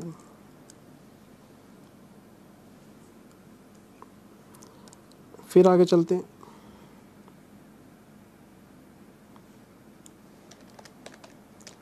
Two five five two seven two plus two forty plus ninety five thousand minus five sixty minus sixteen minus ठीक है इधर आओ depreciation लगाओ। इकतीस मार्च बाईस को लिखेंगे by depreciation at the rate of twenty percent तो पाँच लाख साठ हज़ार का बीस परसेंट कितना हो गया? एक बारह। बाय बैलेंस सी डी चार लाख अड़तालीस हज़ार टोटल एक चार बाईस को लिखेंगे। टू बैलेंस बीडी, चार लाख अड़तालीस हज़ार। इकतीस मार्च तेईस को लिखेंगे बाय डेप्रीसिएशन बीस परसेंट। कितना? Eighty nine six hundred.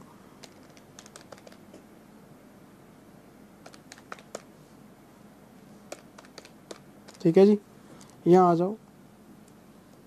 एक चार बाईस को लिखेंगे बाय बैलेंस बेडी दो लाख पचपन हज़ार दो सौ बहत्तर रुपये तीस सितंबर, बाय इंटरेस्ट। दो पचपन, दो सौ बहत्तर इंटू चार percent. Two fifty five, two seventy two into four percent. One zero two one one. ये है ना जी? हाँ जी। Thirtieth September twenty two to bank बताओ जी, कितने की इंस्टॉलमेंट है? एट्टी फाइव थाउज़ेंड की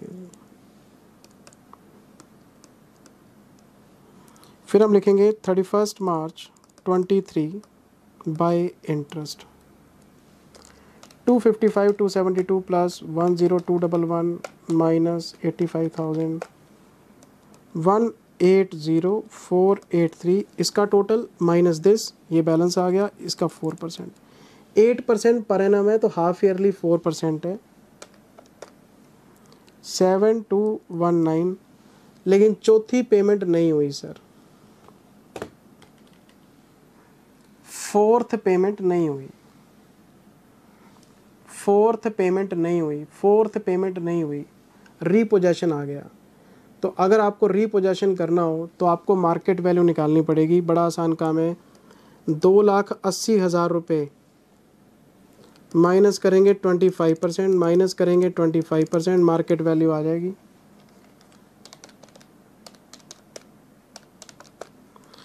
एक लाख सत्तावन हज़ार पाँच सौ, ये मार्केट वैल्यू है। प्रेजेंटेशन क्लास में हमने सब सीखा हुआ है, कैसे बनाते हैं वर्किंग नोट्स ये बुक वैल्यू आ जाएगी।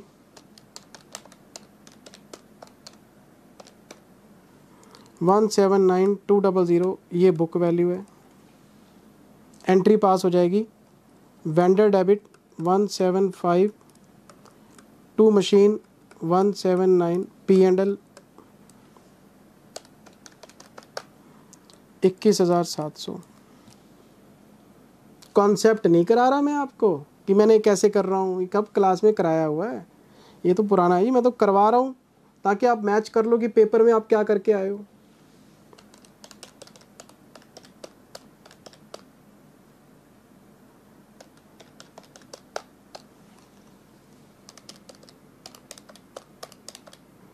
बिल्कुल ठीक है जी। अब एक सत्तावन पाँच सौ जो मार्केट वैल्यू है, वो यहाँ लिखेंगे। इकतीस मार्च तेईस को लिखेंगे। टू प्लांट एंड मशीन जो भी है, एक सत्तावन पाँच सौ जो भी मार्केट वैल्यू आती है बैलेंस निकाल दो। Two fifty five, two seven two plus one zero two double one plus seven two one nine minus eighty five thousand minus one fifty seven, five hundred. Three zero two zero two ये बच गया। जितना भी पैसा लेना था, उसमें इन्होंने इसको एडजस्ट करा दिया मार्केट वैल्यू पे। फुल रिपोजेशन पार्शियल रिपोजेशन मैंने दो केस कराए थे क्लास में, ये पार्शियल रिपोजेशन है। मार्केट वैल्यू एडजस्ट कर दी। हम यहाँ पे आ गए। यहाँ लिखा हमने by P and L loss इक्कीस हज़ार सात सौ। देख लो आप, वही है ना? इक्कीस सात सौ तो था। दो अस्सी माइनस पच्चीस परसेंट, माइनस पच्चीस परसेंट। दो अस्सी माइनस बीस परसेंट, माइनस बीस परसेंट। एक सत्तावन पाँच सौ। इक्कीस सात सौ loss by balance C D तो चार अड़तालीस में से अच्छा एक एंट्री और भी तो थी बाय वेंडर एक सत्तावन पाँच सौ। ये गया। ये तो गया।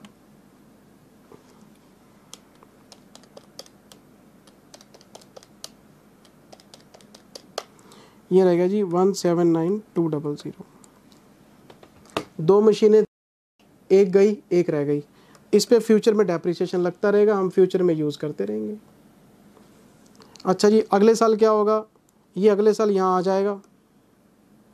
इसमें ब्याज जोड़ देंगे। और बाकी की पेमेंट हो जाएगी। अब इंस्टॉलमेंट का सिस्टम ख़त्म, नहीं समझे। ये जो इंस्टॉलमेंट्स हैं, अब ये नहीं जाएँगी।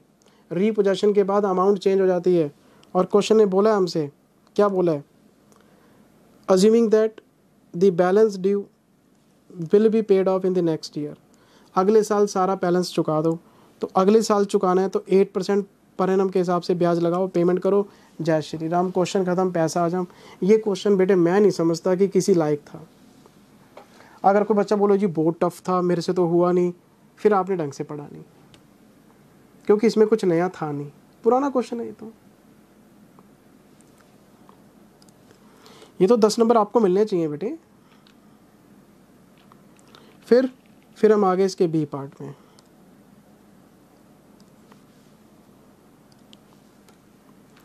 हम आगे जी इसके बी पार्ट में।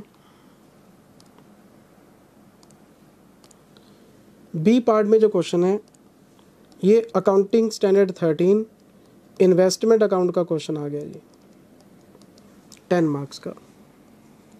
टेन मार्क्स का क्वेश्चन। कहने के लिए ए एस बीस नंबर के आते हैं, बीस के बाद फिर ए एस में से क्वेश्चन ऐड होते रहते हैं। तो ये टेन मार्क्स का क्वेश्चन है ए एस बेस्ड है और इस तरह के हमने क्लास में पता नहीं कितने क्वेश्चन किए हैं। इसमें डिबेंचर की भी इंफॉर्मेशन है और इसमें शेयर की भी इंफॉर्मेशन है। तो multiple investments in a single question तो करना क्या होता है? सबके खाते अलग अलग बनाने होते हैं। शेयर का अलग डिबेंचर्स का अलग। और मैंने तो क्लास में ऐसे क्वेश्चंस भी कराए जिसमें शेयर भी दो कंपनियों के हैं तो उनके भी खाते अलग बनाते हैं। इसमें तो काम ही बड़ा आसान है। एक खाता बनेगा इन्वेस्टमेंट इन शेयर्स का, एक बनेगा इन्वेस्टमेंट इन बॉन्ड्स का। बॉन्ड्स और डिबेंचर में क्या फ़र्क है? सरकार इशू करती है तो बॉन्ड है प्राइवेट अगर पब्लिक लिमिटेड कंपनी इशू करती है तो आपका वो डिबेंचर बन जाता है। सरकार का इशू किया हुआ डिबेंचर बॉन्ड के नाम से। हमने क्या लेना है सर? दो खाते बनाने निपटा के परे मारो। लो। सबसे पहले हमारे पास है फ़र्स्ट अप्रैल ट्वेंटी टू और ये इस क्वेश्चन में आपको हैज़ वर्ड बता रहे हैं। यहीं से घंटी बज जानी चाहिए कि ओपनिंग बैलेंस है। ये ओपनिंग बैलेंस है। तीन हज़ार इक्विटी शेयर्स हैं सन कंपनी के, और इसकी बुक वैल्यू बता रहे हैं तीन तीस फेस वैल्यू क्या है? हमने क्या दाने लेने हैं बताओ। हमें नंबर ऑफ़ शेयर पता होनी चाहिए अमाउंट पता होनी चाहिए। फेस वैल्यू फेस वैल्यू काम आती है सिर्फ़ डिविडेंड के लिए, अगर आपको डिविडेंड की परसेंटेज दे रखी हो। एक और बात समझो, यहाँ पे ओपनिंग बैलेंस है। तो ये पुराने शेयर्स हैं। अगर इस पर आपको कोई डिविडेंड मिलता है तो वो नॉर्मल डिविडेंड होगा, वो इनकम में जाएगा। हम उसको प्री एक्विजिशन नहीं बोल सकते। करंट ईयर में खरीदेंगे, उस पर डिविडेंड आएगा, वो प्री एक्विजिशन होगा। तो ये नॉर्मल है ओपनिंग बैलेंस है हैज़ वर्ड गिवन है। तो इस पर जो भी डिविडेंड आएगा, वो इनकम में जाएगा प्रॉफिट एंड लॉस में जाएगा, वो प्री एक्विजिशन नहीं होगा आपका। ठीक है। फिर एक जुलाई को इन्होंने परचेज़ किए हैं, पंद्रह सौ इक्विटी शेयर वही कंपनी के। अलग सब कुछ तो दे रखे हैं यार। ना कॉस्ट का वर्किंग नोट बनाना है, ना कुछ करना है। सिंपल क्वेश्चन है। इस पे जो डिविडेंड आएगा, वो प्री एक्विजिशन होगा, वो कॉस्ट में एडजस्ट कर लेंगे। अगली इंफॉर्मेशन बॉन्ड्स की है, बाद में देखते हैं। ये देखो, दो अक्टूबर। कंपनी ने डिविडेंड डिक्लेयर किया है इक्विटी शेयर्स पे और पे भी किया है at the rate of ten percent लेकिन कौन सा साल? इक्कीस बाईस प्रीवियस ईयर और हम इंफॉर्मेशन बना रहे हैं ट्वेंटी थ्री की। क्लास में चिल्ला चिल्ला के गला फट जाता है मेरा। करंट ईयर में जो डिविडेंड मिलेगा वो प्रीवियस ईयर का। करंट ईयर में जो डिविडेंड मिलेगा वो प्रीवियस ईयर का। यही बोलता रहता हूँ। जितने शेयर पिछले साल में थे, उस पर जो डिविडेंड मिलेगा वो नॉर्मल होगा। जितने शेयर आपने करंट ईयर में खरीदे होंगे, उस पर जो डिविडेंड मिलेगा। मैंने तो रिविजनरी वीडियो भी शेयर किया था टेलीग्राम पे। इन्वेस्टमेंट अकाउंट्स का। उसमें भी यही बात बोली हुई है। इतने सारे क्वेश्चन किए हुए हैं शेयर्स के। फिर भी बच्चा अगर पेपर में गलती करेगा, उसको जय श्री राम बोलना चाहिए। गलती नहीं करोगे, तब भी जय श्री राम बोलना चाहिए।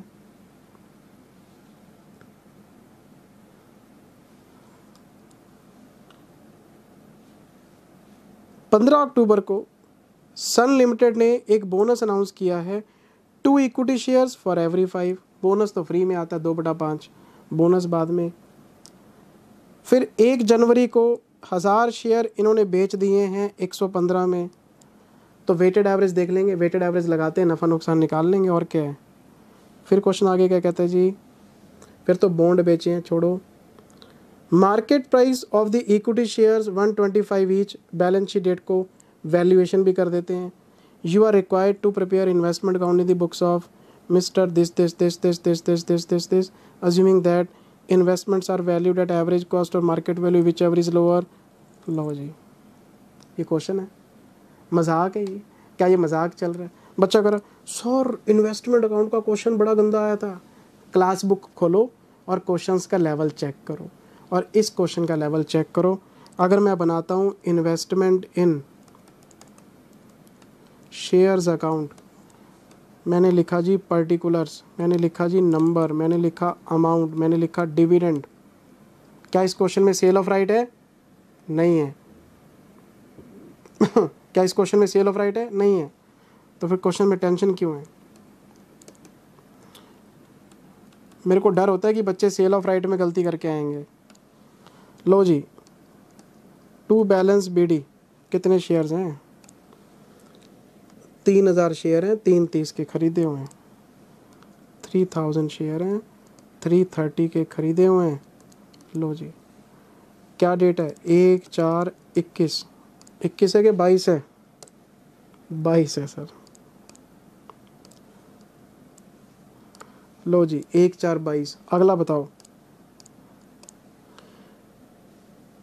एक जुलाई को पंद्रह सौ शेयर खरीदे हैं।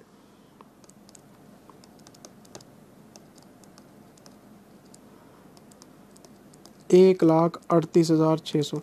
क्या ये प्रेजेंटेशन हम क्लास में करते हैं? चमका चमका के करते हैं, लाइनें खींच के करते हैं।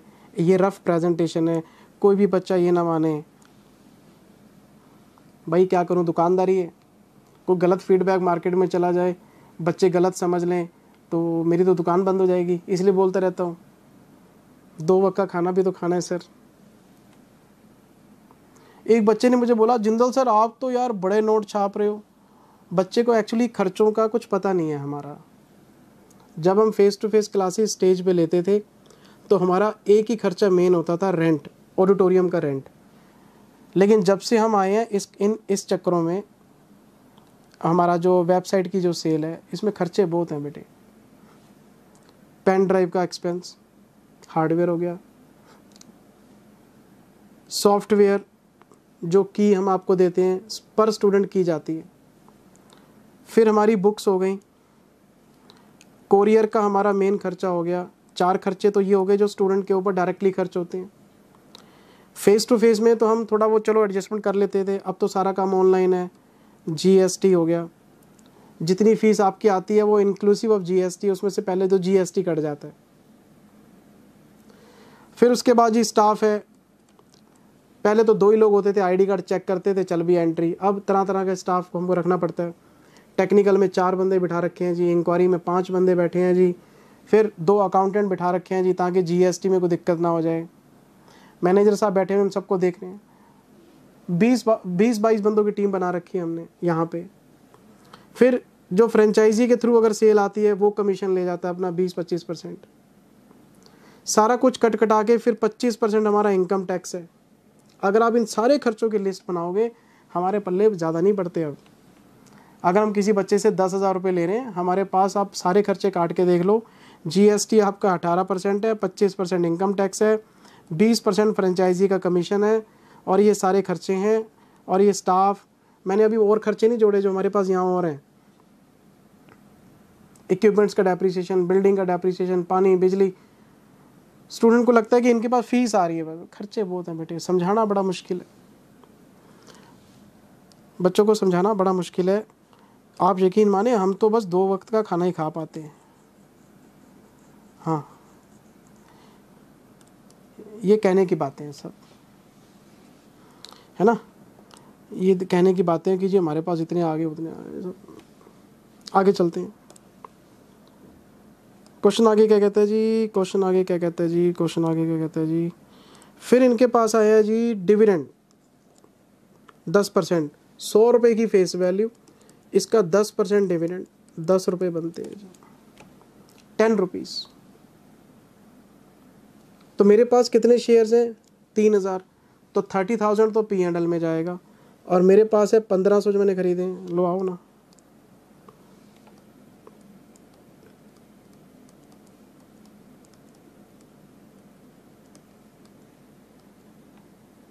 अमाउंट के कॉलम में आएँगे पंद्रह हज़ार, यहाँ पर आएँगे तीस हज़ार। पंद्रह सौ शेयर थे, सौ की फेस वैल्यू है दस परसेंट। तीन हज़ार शेयर्स थे, सौ की फेस वैल्यू है दस परसेंट।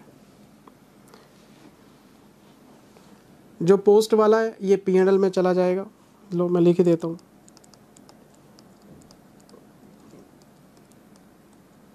ये कॉस्ट में एडजस्ट हो जाएगा। ये भी कट गया जी। पंद्रह दस को बोनस शेयर आए bonus shares fifteen ten twenty two पैंतालीस सौ शेयर्स हैं। इसका दो बटा पाँच। अठारह सौ शेयर बोनस में आ गए।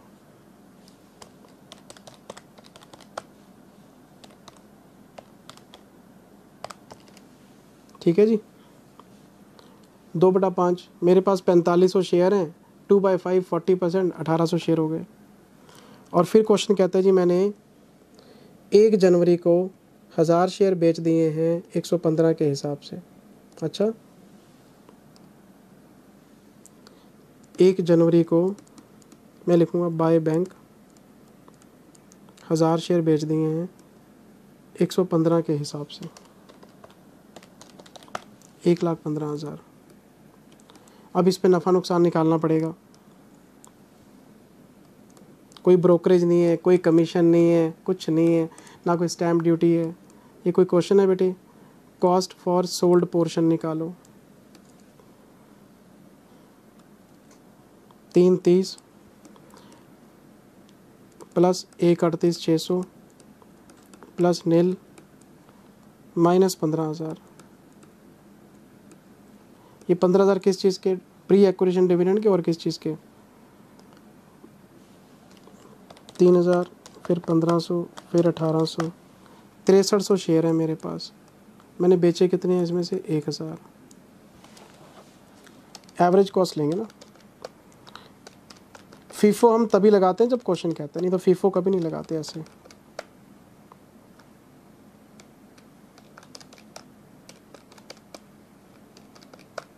बहत्तर हज़ार। प्रॉफिट बताओ कितना आया? तरतालीस हज़ार। कर लोगे बेटे क्वेश्चन अब तो? यहाँ पे टू पी एंडल लिख देना आपने। कितना प्रॉफिट आ गया? तरतालीस हज़ार का प्रॉफिट आ गया। To P and L profit on sale. अच्छा एक बात बताओ, मार्केट वैल्यू क्या चल रही है? मार्केट वैल्यू 125 की है। अब मुझे एक बात बताओ 115 रुपए का शेयर बेचा तो प्रॉफिट आ गया तो 125 रुपए तो बहुत हाई हो गया वैल्यूएशन कॉस्ट पे होनी है। तो आपके पास तिरसठ सौ शेयर थे, हज़ार आपने बेच दिए, तिरपन सौ रह गए तो तिरपन सौ को 125 से गुना करेंगे और उधर से क्लोजिंग बैलेंस राउंड फिगर में निकाल लेंगे। भी क्लोजिंग बैलेंस कैसे निकालते हैं? इन सब का टोटल माइनस कर देंगे ये तो क्लोजिंग बैलेंस आ जाएगा और market value which average lower पक्की बात है कॉस्ट ही कम आएगी मार्केट वैल्यू तो बहुत ज़्यादा है। डिबेंचर पे आओ।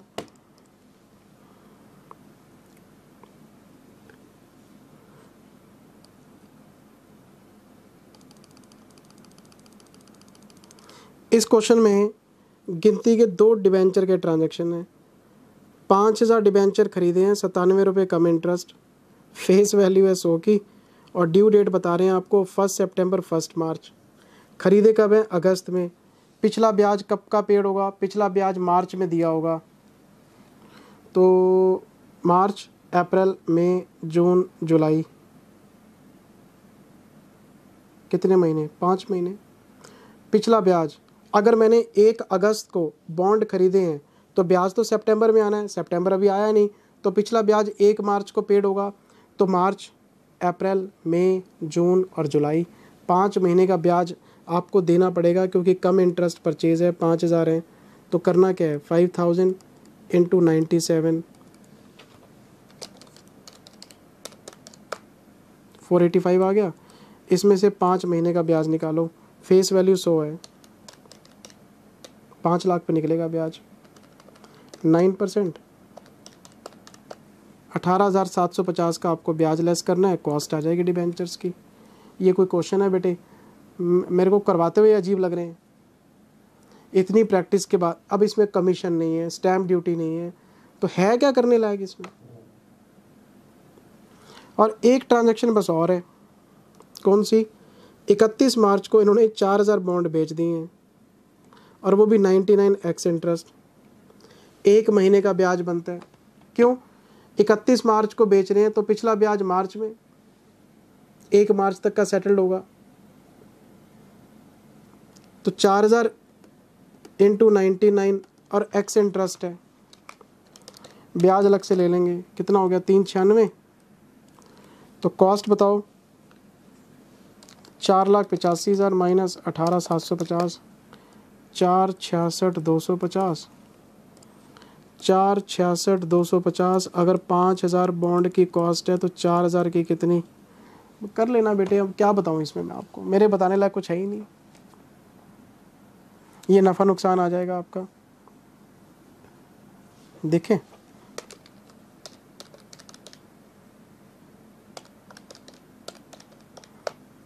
तीन तिहत्तर। प्रॉफिट आ गया। और एक बात और बताओ नाइन्टी नाइन पे आपको प्रॉफिट हो रहा है और मार्केट वैल्यू कितनी है? Ninety eight. नाइन्टी एट पे भी प्रॉफिट ही होगा। आपके पास पाँच हज़ार थे, चार हज़ार बेच दिया आपने। बेच दिए ना? तो हज़ार इंटू नाइन्टी एट, अठानवे हज़ार इसकी मार्केट वैल्यू है। तो हज़ार की कॉस्ट निकालनी है, इसी से कॉस्ट बना लो। चार छियासठ, दो सौ पचास divided by five thousand into one thousand तिरानवे, दो सौ पचास की कॉस्ट बैठती है। Whichever is lower cost आ जाएगी। कोई वैल्यूएशन लॉस नहीं है, कोई झंझट नहीं है, सीधा साधा क्वेश्चन है। एक इन्वेस्टमेंट अकाउंट के अंदर दो क्वेश्चन है। अगर बच्चा कहे, जी, मेरे को नहीं आता, जय श्री राम, इसमें कुछ करने लायक मेरे को कुछ नज़र ही नहीं आ रहा। हाँ टाइम टेकिंग है। कैलकुलेशन तो आपको करनी पड़ेगी, लेकिन ईजी है बेटे। है, फटाफट फटाफट बच्चे ने किया होगा। अब इसमें से बताओ, कौन सी ऐसी चीज़ है जो हमने नहीं पढ़ी? मैंने आपको स्मार्ट इन्वेस्टमेंट वाला और चतुर वाला, निधि वाला पत्नी मल्टीपल इन्वेस्टमेंट्स के कितने क्वेश्चन कराए हैं। उसमें तो ब्रोकरेज भी थी कमीशन भी थी स्टैम्प ड्यूटी भी था। फिर उसमें हम फीफो भी लगाते थे एवरेज भी लगाते थे, बहुत कुछ पढ़ा है बेटे हमने।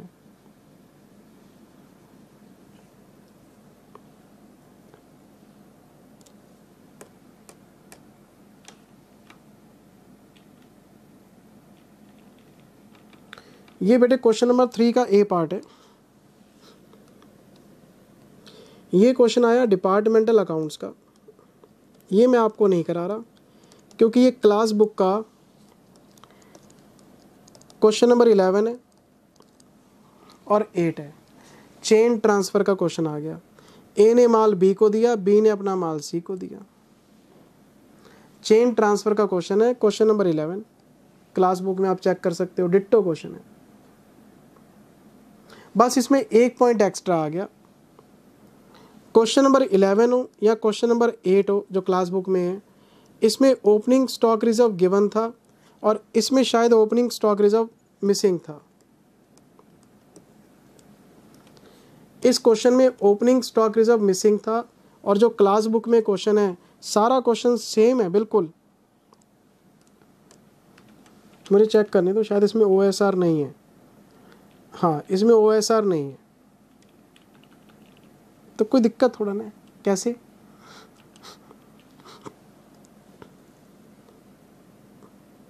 ए बी और सी ये रिसीविंग डिपार्टमेंट है, ये रिसीविंग डिपार्टमेंट है। स्टॉक रिज़र्व इन दोनों के लिए निकालोगे।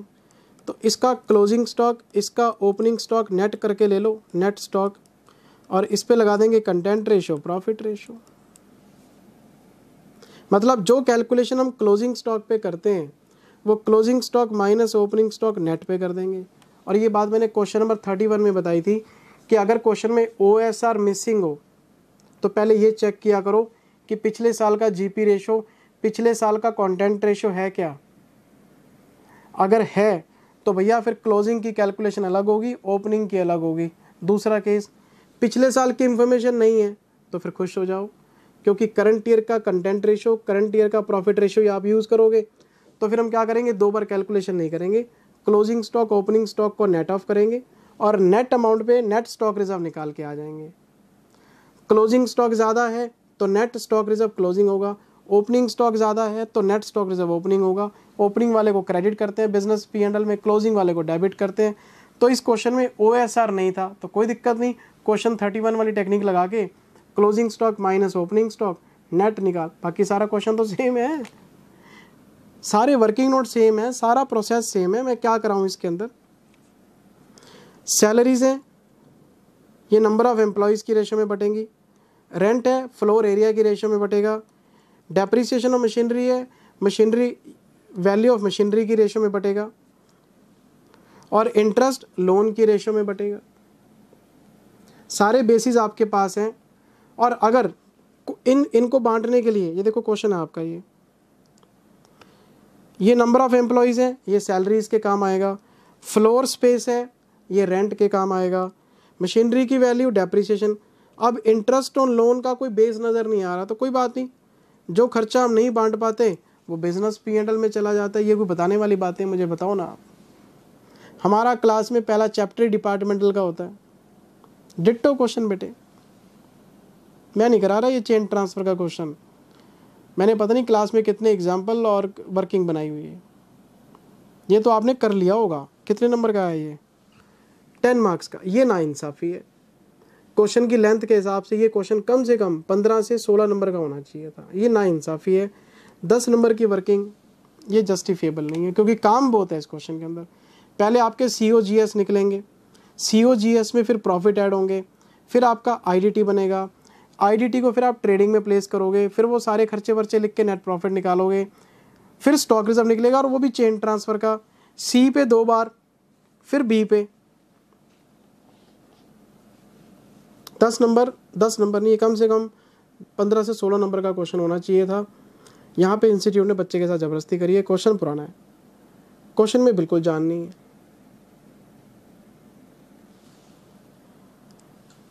मैं आ गया जी थ्री बी में। लो जी थ्री बी ये ना इंसाफ़ी है।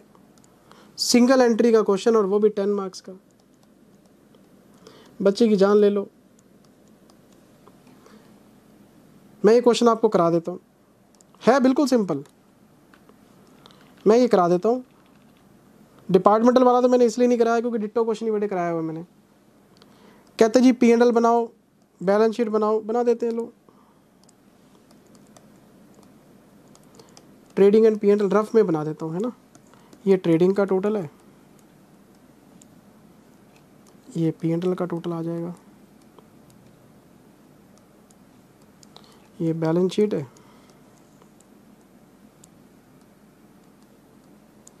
ना मैंने डेट लिखे, ना मैंने कॉलम्स बनाए, ना प्रेजेंटेशन किया। मैं तो आपको वैसे ही समझा रहा हूँ। ये वर्किंग नोट वन है एस ओ ए जिसको हम ओपनिंग बैलेंस शीट भी कह रहे थे फिर working note two capital account बनाना पड़ेगा आपको।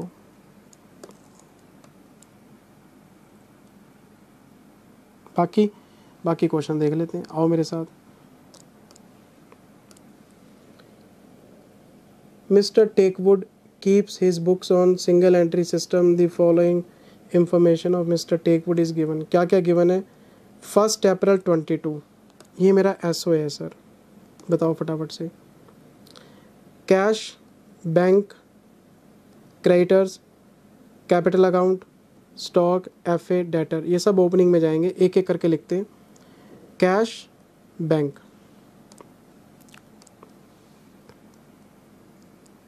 cash bank creditor पंद्रह हज़ार के।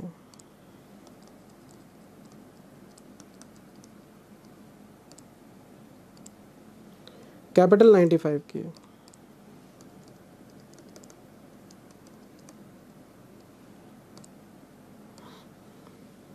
स्टॉक थर्टी फाइव का।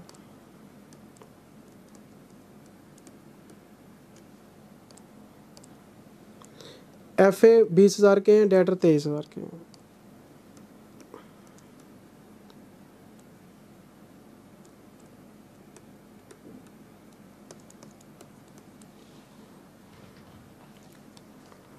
Ninety five thousand fifteen thousand एक लाख दस हज़ार।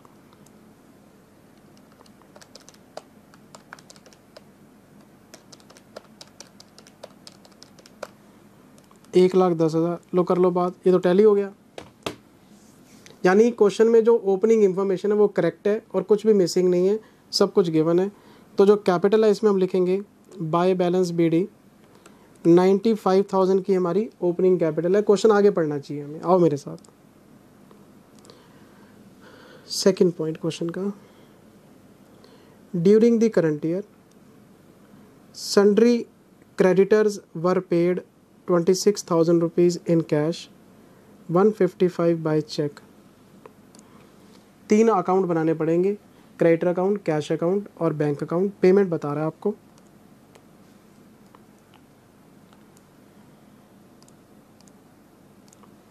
तो मैं वर्किंग नोट नंबर थ्री बना रहा हूँ जी। सबसे पहले बना रहा हूँ क्रेडिटर्स अकाउंट मुझे पहले ये बताओ, इसमें ओपनिंग बैलेंस कितना इसका ओपनिंग बैलेंस मुझे बताया गया जी पंद्रह हज़ार रुपये का।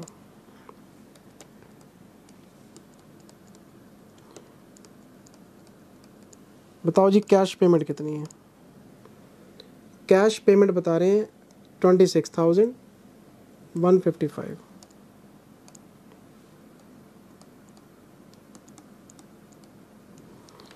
working note number four बनेगा जी कैश अकाउंट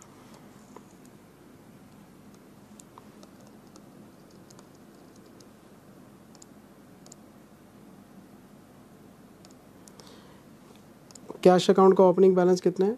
चार हज़ार रुपये हाँ जी, चार हज़ार रुपये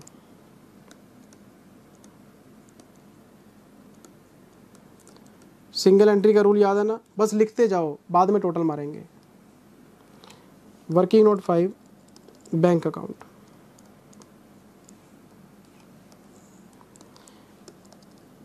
bank account का ओपनिंग बैलेंस बाय क्रेडिटर्स इसका ओपनिंग बताओ जी कितना है?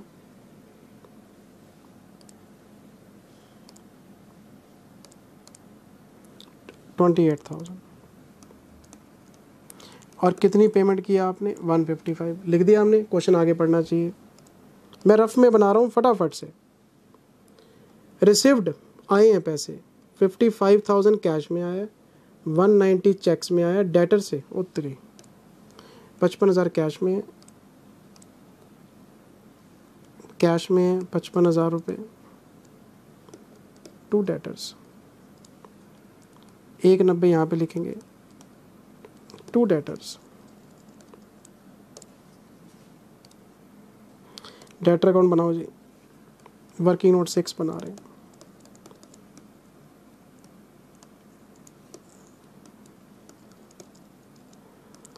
to balance BD by cash fifty five thousand cash दिए हैं। वन नाइन्टी इसने चेक्स में दिए हैं। मेरे को तो लगता नहीं कि मुश्किल काम वाली बात है।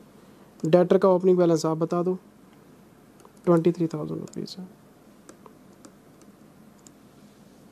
क्वेश्चन आगे पढ़ना चाहिए आपको।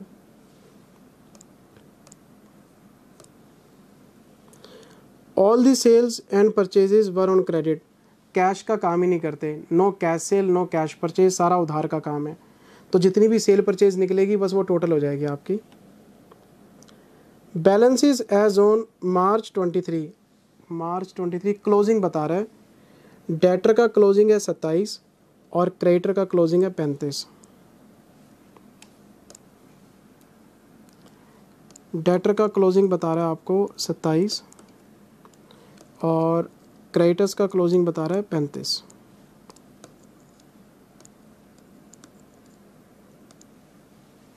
Twenty seven, thirty five. इसको अकाउंट में भी लेके जाओ भाई। ये ट्वेंटी सेवन थाउज़ेंड है।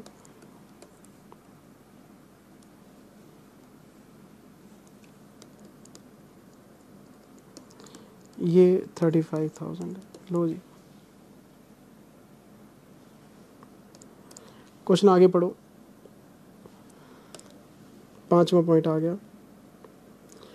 All expenses which are debited to the profit and loss account were disbursed by cheques जितने भी खर्चे पी एंड एल में लिखे गए हैं, वो सारे बैंक से पे हुए हैं। चेक्स का मतलब तो यही है।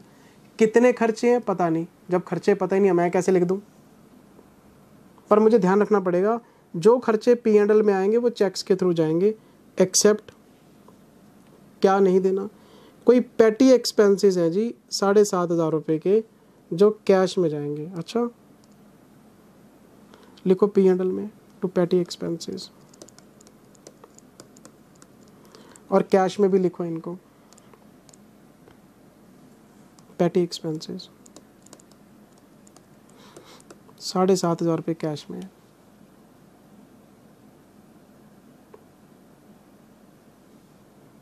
चलें जी आगे। चलें बेटे आगे। चलो। आगे क्वेश्चन क्या कहता है? Outstanding expenses as on March twenty three two thousand अच्छा कर लो बात। दो हज़ार के आउटस्टैंडिंग में भाई। बैलेंस शीट में लिखो। आउटस्टैंडिंग है तो लाइबिलिटी होगी। और अगर ये आउटस्टैंडिंग है तो पेमेंट भी कम जाएगी। वो जब हम पेमेंट लिखेंगे तब देख लेंगे। आगे चलते हैं। Net profit for the year लो बताओ। नेट प्रॉफिट आपको दे गया, इकतालीस हज़ार है। और ये आफ्टर डेप्रिसिएशन है टेन परसेंट इतना आसान क्वेश्चन बेटे। एसेट्स की वैल्यू बताओ कितनी है? बीस हज़ार। तो इसका टेन परसेंट डेप्रिसिएशन कितना बनता है? दो हज़ार। ये लो।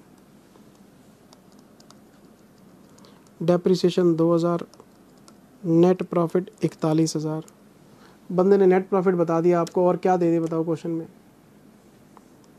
और ये नेट प्रॉफिट कैपिटल अकाउंट में भी चला जाएगा।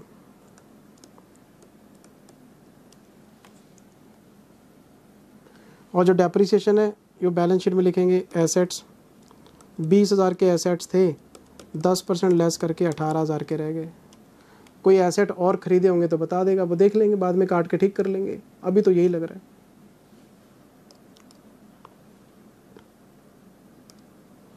बताओ जी क्लोजिंग स्टॉक कितना बता रहा है? पिचहत्तर हज़ार का। कर लो बात। क्लोजिंग स्टॉक पिचहत्तर हज़ार का। एस बताओ मुझे। ओपनिंग स्टॉक पैंतीस का था। क्लोजिंग स्टॉक पिचहत्तर का है। लिखो जी। To opening stock by closing stock और ये क्लोजिंग स्टॉक बैलेंस शीट में भी जाएगा। स्टॉक ओपनिंग क्लोजिंग स्टॉक भी हो गए। क्वेश्चन आगे पढ़ना चाहिए आपको। इसकी ड्राइंग्स बता रहे हैं हमें। दस हज़ार तो कैश में हुई हैं और चौदह हज़ार रुपये बैंक में हुई हैं। टोटल चौबीस हज़ार की ड्राइंग है। दस हज़ार की तो कैश में है। दस हज़ार की कैश में चौदह हज़ार की यहाँ से हुई हैं। ठीक है जी? और जो इसका कैपिटल अकाउंट है, मान लो, उसमें लिखेंगे टू ड्राइंग्स चौबीस हज़ार रुपये की। प्रॉफिट दे रखा है ड्राइंग मैं सोच रहा हूँ क्वेश्चन में मैं कर क्या रहा हूँ। कोई ऐसा पॉइंट तो मिले जहाँ मैं रुकूँ, कुछ है ही नहीं। बस हो गया क्वेश्चन क्वेश्चन ख़त्म हो गया जी। कहते ही वर्किंग बनाओ। तो करना क्या है? क्रेडिटर अकाउंट का टोटल लगाओ परचेज बताओ कितनी आ गई। छब्बीस हज़ार, एक पचपन, पैंतीस हज़ार, दो सोलह, माइनस पंद्रह हज़ार। दो लाख एक हज़ार रुपये की परचेज आ गई है।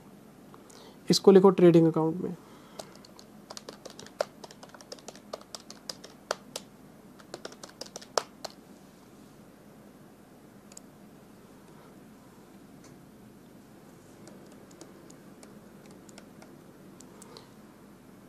डेटर अकाउंट में जाओ।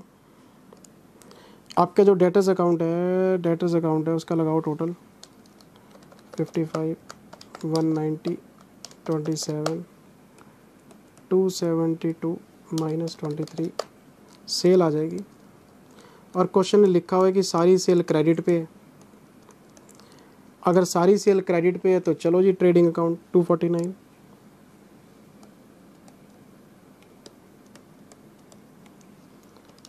249 plus 75,000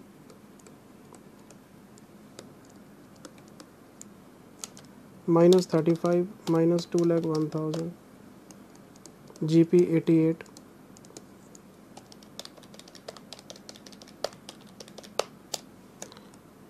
by GP 88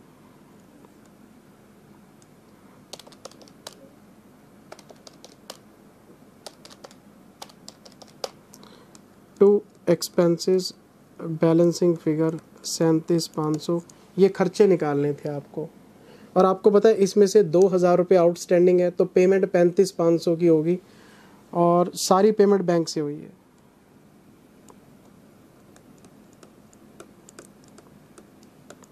सैंतीस, पाँच सौ के खर्चे हैं, दो हज़ार के आउटस्टैंडिंग है, इसका लगाया हमने टोटल तो बैंक का क्लोजिंग बैलेंस निकालो कितना आया।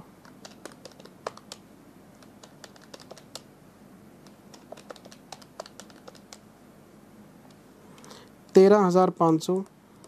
ये क्लोजिंग बैलेंस आ गया। अच्छा कैश का टोटल बताओ। फिफ्टी नाइन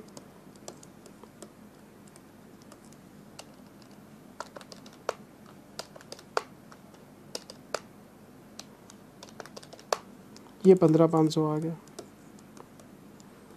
एक तेरह पाँच सौ एक पंद्रह पाँच सौ है।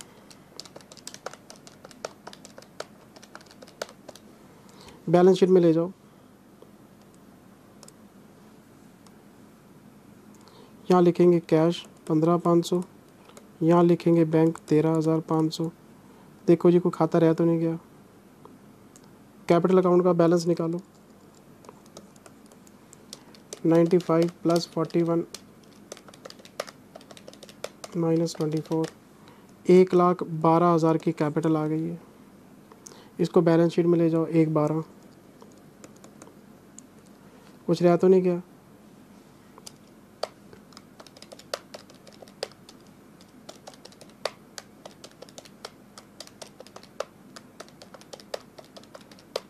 लो जी वन फोर्टी नाइन का टोटल आ गया। क्वेश्चन ख़त्म, पैसा आ जाओ। ये क्वेश्चन है बेटे। सिंगल एंट्री का क्वेश्चन और आप यकीन माने, मैंने मतलब इस पेपर के लिए कोई होमवर्क नहीं किया। मैं सीधा घर से उठा नींद ली और आपको रिकॉर्डिंग करने आ गया। मैं पेपर भी यहीं पढ़ रहा हूँ आपके सामने। मैंने नज़र ज़रूर मारी थी, लेकिन मैंने, मेरे को लगा ही नहीं कि इस पर कोई होमवर्क करना चाहिए मुझे। ये सारे क्वेश्चन आपके सामने मैं एज अ स्टूडेंट ही सॉल्व कर रहा हूँ कि देखता हूँ कि मेरे से मिस्टेक होते कि नहीं होती कोई। तो मैंने आपको छः में से तीन क्वेश्चन करा दिए तीन अगले संडे रिकॉर्ड कराऊँगा बेटे, क्योंकि टाइम की थोड़ी सी आजकल शॉर्टेज चल रही है। न्यू कोर्स की वजह से रिकॉर्डिंग्स में बहुत बिज़ी हूँ मैं। और ऊपर से डाउट्स का भी प्रेशर रहता है थोड़ा बहुत। तो नेक्स्ट संडे बाकी के तीन क्वेश्चन रिकॉर्ड करा दूँगा ये तीन आप टैली कर लो अपने। और अगर ये तीन ठीक है मुझे ऐसा लगता है कि आ, एक ए एस ग्यारह का क्वेश्चन छोड़ के बाकी तो बच्चों ने कर लिया होगा। Thank you very much take care bye love you all God bless you all see you in the next video part number two ये पार्ट वन था हमारा। बाय बाय ये मत कहना पेपर मुश्किल था। हाँ पेपर मुश्किल नहीं था। पेपर लेंदी था। Thank you very much bye love you